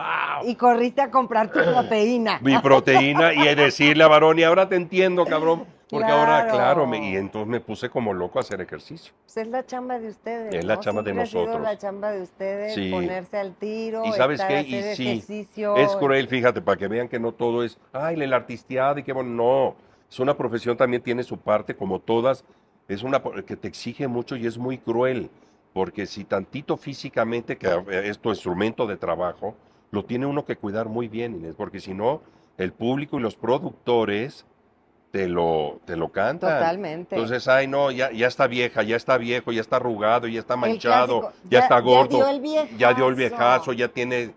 Y lo así. peor es que, y peor para las mujeres, ¿eh? Las mujeres, las mujeres sí, es más cruel la cosa. es más cruel las cosas. Sí, estoy de acuerdo contigo. La mujer la, la sufre más. Necesita estar así, ¿no? Sí. Winnie del Conde, porque si no ya... No, y pretenden, y, y la parte del público también, por eso te digo, es muy cruel, porque luego los fans o el público también quiere que uno esté como, Como Maribel, si como Maribel. Guardia. Ay, como- todo. no, que- pues, pues, oye, pero como yo les digo, Maribel Guardia nada más es como Messi, nada más hay uno en el mundo, cabrón. No, son de estas cosas que O pues, versión hombre colunga, así que lo ves. Mi querido Fer Dices, también ¿qué lo onda? ves y dices, wow. Pero Maribel se lleva las palmas, Ah, porque no. Maribel es mayor que, No, que Maribel es Fernando. Maribel, es el icono de Maribel la es la que dices, oye, qué bárbara Ya esa sé. señora, man. Maribel, que también hicimos protagonizamos Pero una, te voy a decir una algo, novela con ella. El cariño que has ganado ya con el público sustituye toda clase de si estás más gordo, si estás más flaco. Tú te lo has ganado, te has ganado con tu trabajo, con tu ángel, con tu simpatía. El hecho de que la gente ya te ve con cariño. ¿Y qué importa si trae barba blanca, negra, si trae unos kilos de más o de menos? Ya lo notas, ¿no? En el público. Ese amor y ese Sí. cariño. Sí, pero te digo, sí sigue, sí, no debo de abusar. Porque sí te la cobra, sí te la cobra, porque también el tema de los personajes, ok, pues sí, también quiero ser eh, personajes de gordito, pues ya denle los personajes de gordito. Claro. Pero necesitarías estar mucho más gordito. Entonces, porque- no, no sé, eso es lo que no, que es como, pues sí, sí, es como yo pararme frente al espejo y decir, si eso quiero, adelante. Como hay compañeros que dicen, adiós, yo ya Sí, me dedico no a me comer y ya tengo la panza así Claro. y no me importa. Y son primeros actores. Está bien, cada, ahora sí que aquí cada, cada quien... De Jesús Ochoa no vas a estar hablando, ¿eh? Ah, no, No, es mi querido, ay, me- no, Jesús, no, Jesús, puta. no, no, no, no. Actora, Es broma, es broma, es sasasasasazo. broma. Por eso digo, son primeros actores, pero hay muchos que el físico no es así muy importante. Ahora, tu vicio es la, el azúcar, le Sí. sufres entonces cuando te pones a Sí, dieta. soy muy dulcero. Si tú me invitas a comer, este, y, voy a comer, disfruto mucho, disfruto mucho comer. Para mí es uno de los grandes placeres. Este, y me dices, no hay postre, o me sacas, que me ha pasado, un plato de quesos o de fruta. Ay. Ay, Dios mío. Este no es postre. No, este eso no es postre, no estamos en Francia. Exacto. Yo respeto Francia, son costumbres, así te educaron de niño, está perfecto. Pero aquí Pero mi aquí, pastelito, tráeme mi- mis chongos zamoranos, tráeme mi flancito, mi arroz Ya con de leche. menos el, el duraznito El- en el- sí, en almíbar con crema. Sí, pero no me saques una gelatina o no me saques una frutita con quesos porque te la pongo de, de sombrero. No, no, no, no, no, no, no, no, qué horror. Soy muy... Pero eso, mira, como le digo... saben, si van a invitar a Lalo, su postre, ¿eh? Su buen postre. Pero si doña no- María ahí también tiene mucho que ver porque mi mamá también eh, nos acostumbró, mi mamá es dulcera también y siempre en la casa de ustedes, en Veracruz desde niños, el postre no podía faltar. Mis amigos iban a la casa por el postre. Ay. Sí, no, no, no. Oye, Lalo, pues fue un gran placer platicar contigo. Podríamos estar dos mil no. horas. Sí. Y para terminar, ¿en qué momento tú has tenido que decir, el show debe continuar? No, desde que decidí, desde que decidí estar en esta profesión, porque sabes que se nos olvida también el tema de la memoria, y lo veo con compañeros. Gracias a Dios a mí no, y siempre que los veo a ellos es un reflejo que digo, yo no quiero eh, estar o llegar a eso. No lo permitas, Dios mío, por favor, yo no quiero eso. Antes de que somos unos perfectos desconocidos y todo, todo el mundo queremos, y sí, todo el mundo, no es cierto que digan, ah, yo no, no, eso es mentira. Una entrevista, queremos que nos pidan un autógrafo, este, queremos encabezar eh, un, un proyecto, Que queremos una portada. ¿Te acuerdas cuánto? Ahorita ya las portadas son de chile, tomate y Sí. cebolla, porque ya hay 20 fotos, ¿eh? pero en mi época las portadas eran las señoras portadas. Y cuando ya te consagraron. Y cuando a ti ya te daban una portada es porque decían, wow. Y a mí cuando Teleguía me hizo mi primer, que tenía una sección que era primero en todo, Tu primer portada fue Teleguía. Teleguía. y a sí, Norma, fiestas que eran las cuatro fantásticas, que era esta Normita, Rocío Maldonado, Norma, ay, no me Ah, Chío acuerdo, cuatro, Maldonado, ajá, eran cuatro, cuatro, claro. que a mi tío tiene su programa radio y todo, y le mando un beso también. Ellas me hicieron mi primera entrevista en De Frente al Sol, Ajá. mi primera entrevista. Y, y estabas de la felicidad que Bueno, no cabías. y entonces, ah, de esto te lo comento porque entonces, claro, ya pasan los años, ya este, llega la fama, el éxito, todo, pa, pa, pa, pa, pum, pum, y salen corriendo y ahora no quieren entrevistas, no quieren una foto, no quieren dar Dímelo un a autógrafo. mí, Lalo. No quieren, no, si los Que veo. Dios sabe la, los veo, lo que me cuesta que los me den una veo, los veo, pero ¿sabes qué? Esto, y yo te lo aplaudo, y así como tú me das las gracias, yo también te tengo que dar las gracias a ti, porque tú generas eso también, Inés. Y es muy fácil, tengo muchos amigos, y tú lo sabes, que este, este, y muy cercanos, eh, compañeros tuyos, y que le digo, puta, es que es tan, f-", y nos ponemos a hablar así del medio de ustedes y el medio de nosotros, que es un medio que va de la mano, tiene que ir de la mano, porque nosotros no nos hacemos sin Es ustedes. un vals. Exacto, y sin ustedes tampoco nosotros no existi- existiríamos. Es un vals, muy bonito lo que acabas de decir. Y entonces dices, pero es tan fácil. ¿Qué te cuesta pararte uno, dos segundos a las termitas y te vas? Y si te agarran de mala leche, porque los hay, en tu medio los hay, como los hay en mi Uy, medio, sí. pues Que agarras y dices, ¿sabes qué? De la judicial. Ajá, y dices, ¿sabes qué? Con, con tal medio, jamás. Exacto. No voy contigo ni te doy una entrevista, te digo, ay, ¿sabes qué? No puedo, no puedo, no puedo, no puedo, y tal, tal. Solitos se cierran la puerta por una exclusiva a lo mejor, que sí llegaron a hacer en su vida, ay, pero yo la gané. Sí, cabrón, pero ya te quemaste el resto de tu vida porque esa puerta te la cerraste. Totalmente. Entonces, vale la pena realmente si pones las cosas, porque tú ya cuántos años llevas en esto. A lo mejor si tú no llevaras muchos y dijeras, no, yo nada más voy a estar tres, como también pasa en mi medio que dicen, no, yo ya novelas ya no, ya, ya y las probé y todo, pero esa gente no es actor ni es actriz. Exacto. También en exacto. tu medio pasa, esto tampoco, es nada más Sí. estuvieron un ratito. No, o sabes que lo que es- pasa ahorita mucho, en donde, eh, eh, ahorita, aquí en YouTube, se les hace muy fácil sentarse y decir cosas y, y vomitar y cosas vomitar horribles cosas y de los ofenden, compañeros de ustedes. ofenden, ofenden. decir cosas sobre nombres. Sí. este, ¿Y sabes por qué lo hacen? Porque no ven en un futuro sentarse con ustedes a platicar. A ver que o lo vivir hagan. en esta profesión de hablar de su trabajo, de sus trayectorias. No, Claro. se les hace fácil sentarse a... Y por esas personas, luego a veces no podemos conseguir una entrevista. No, pero yo creo que en el caso tuyo, Inés, por eso te digo, de- tú, tú ya tienes muchos años y tienes credibilidad. Y la gente que te conocemos sabemos que va a ser una plática, porque esto para mí es una plática. Sí, claro. de cuates que charla. estamos aquí chorcheando, ta, ta, ta, ta, ta, ta, y padrísimo, sale todo y fluye todo de maravilla. No es hay una entrevista, no, es una plática y órale, tuve el tiempo ahorita, ya terminé de grabar, adelante, con gusto te la doy. No, pues y yo estoy la a más tus órdenes agradecida, para lo que... e- eres de los grandes, de los grandes gracias. referentes de la televisión Muchas en gracias, México. muchas, muchas te gracias. quiere todo el mundo, te queremos también la prensa. Yo lo sé y yo a ustedes. Nunca nos has dejado colgados o con la- el Mm, micrófono ahí. sí. Si no tienes tiempo lo dices, y te Claro, ¿qué disculpas, pasa? Claro. pero nunca hemos visto una cara fea de tu parte ni de tu familia, hay que decirlo. Muchas Entonces, gracias. como dices tú, es cuestión de educación. Sí, y, Y- aquí siempre de la mano y juntos muy y para muchos y que vengan muchos, muchos años más y hasta me quito lente. Estoy así gripón y todo, pero no me importó, aquí Y estoy. con gripa y todo eh, con la voz aquí de aguardientoso, pero te quiero mucho y gracias. Yo también. Y Lalo mucho éxito en este programa. Gracias. Y el show debe continuar, Lalo. Ya ni chiflar puedo, pero bueno. ¡Venga!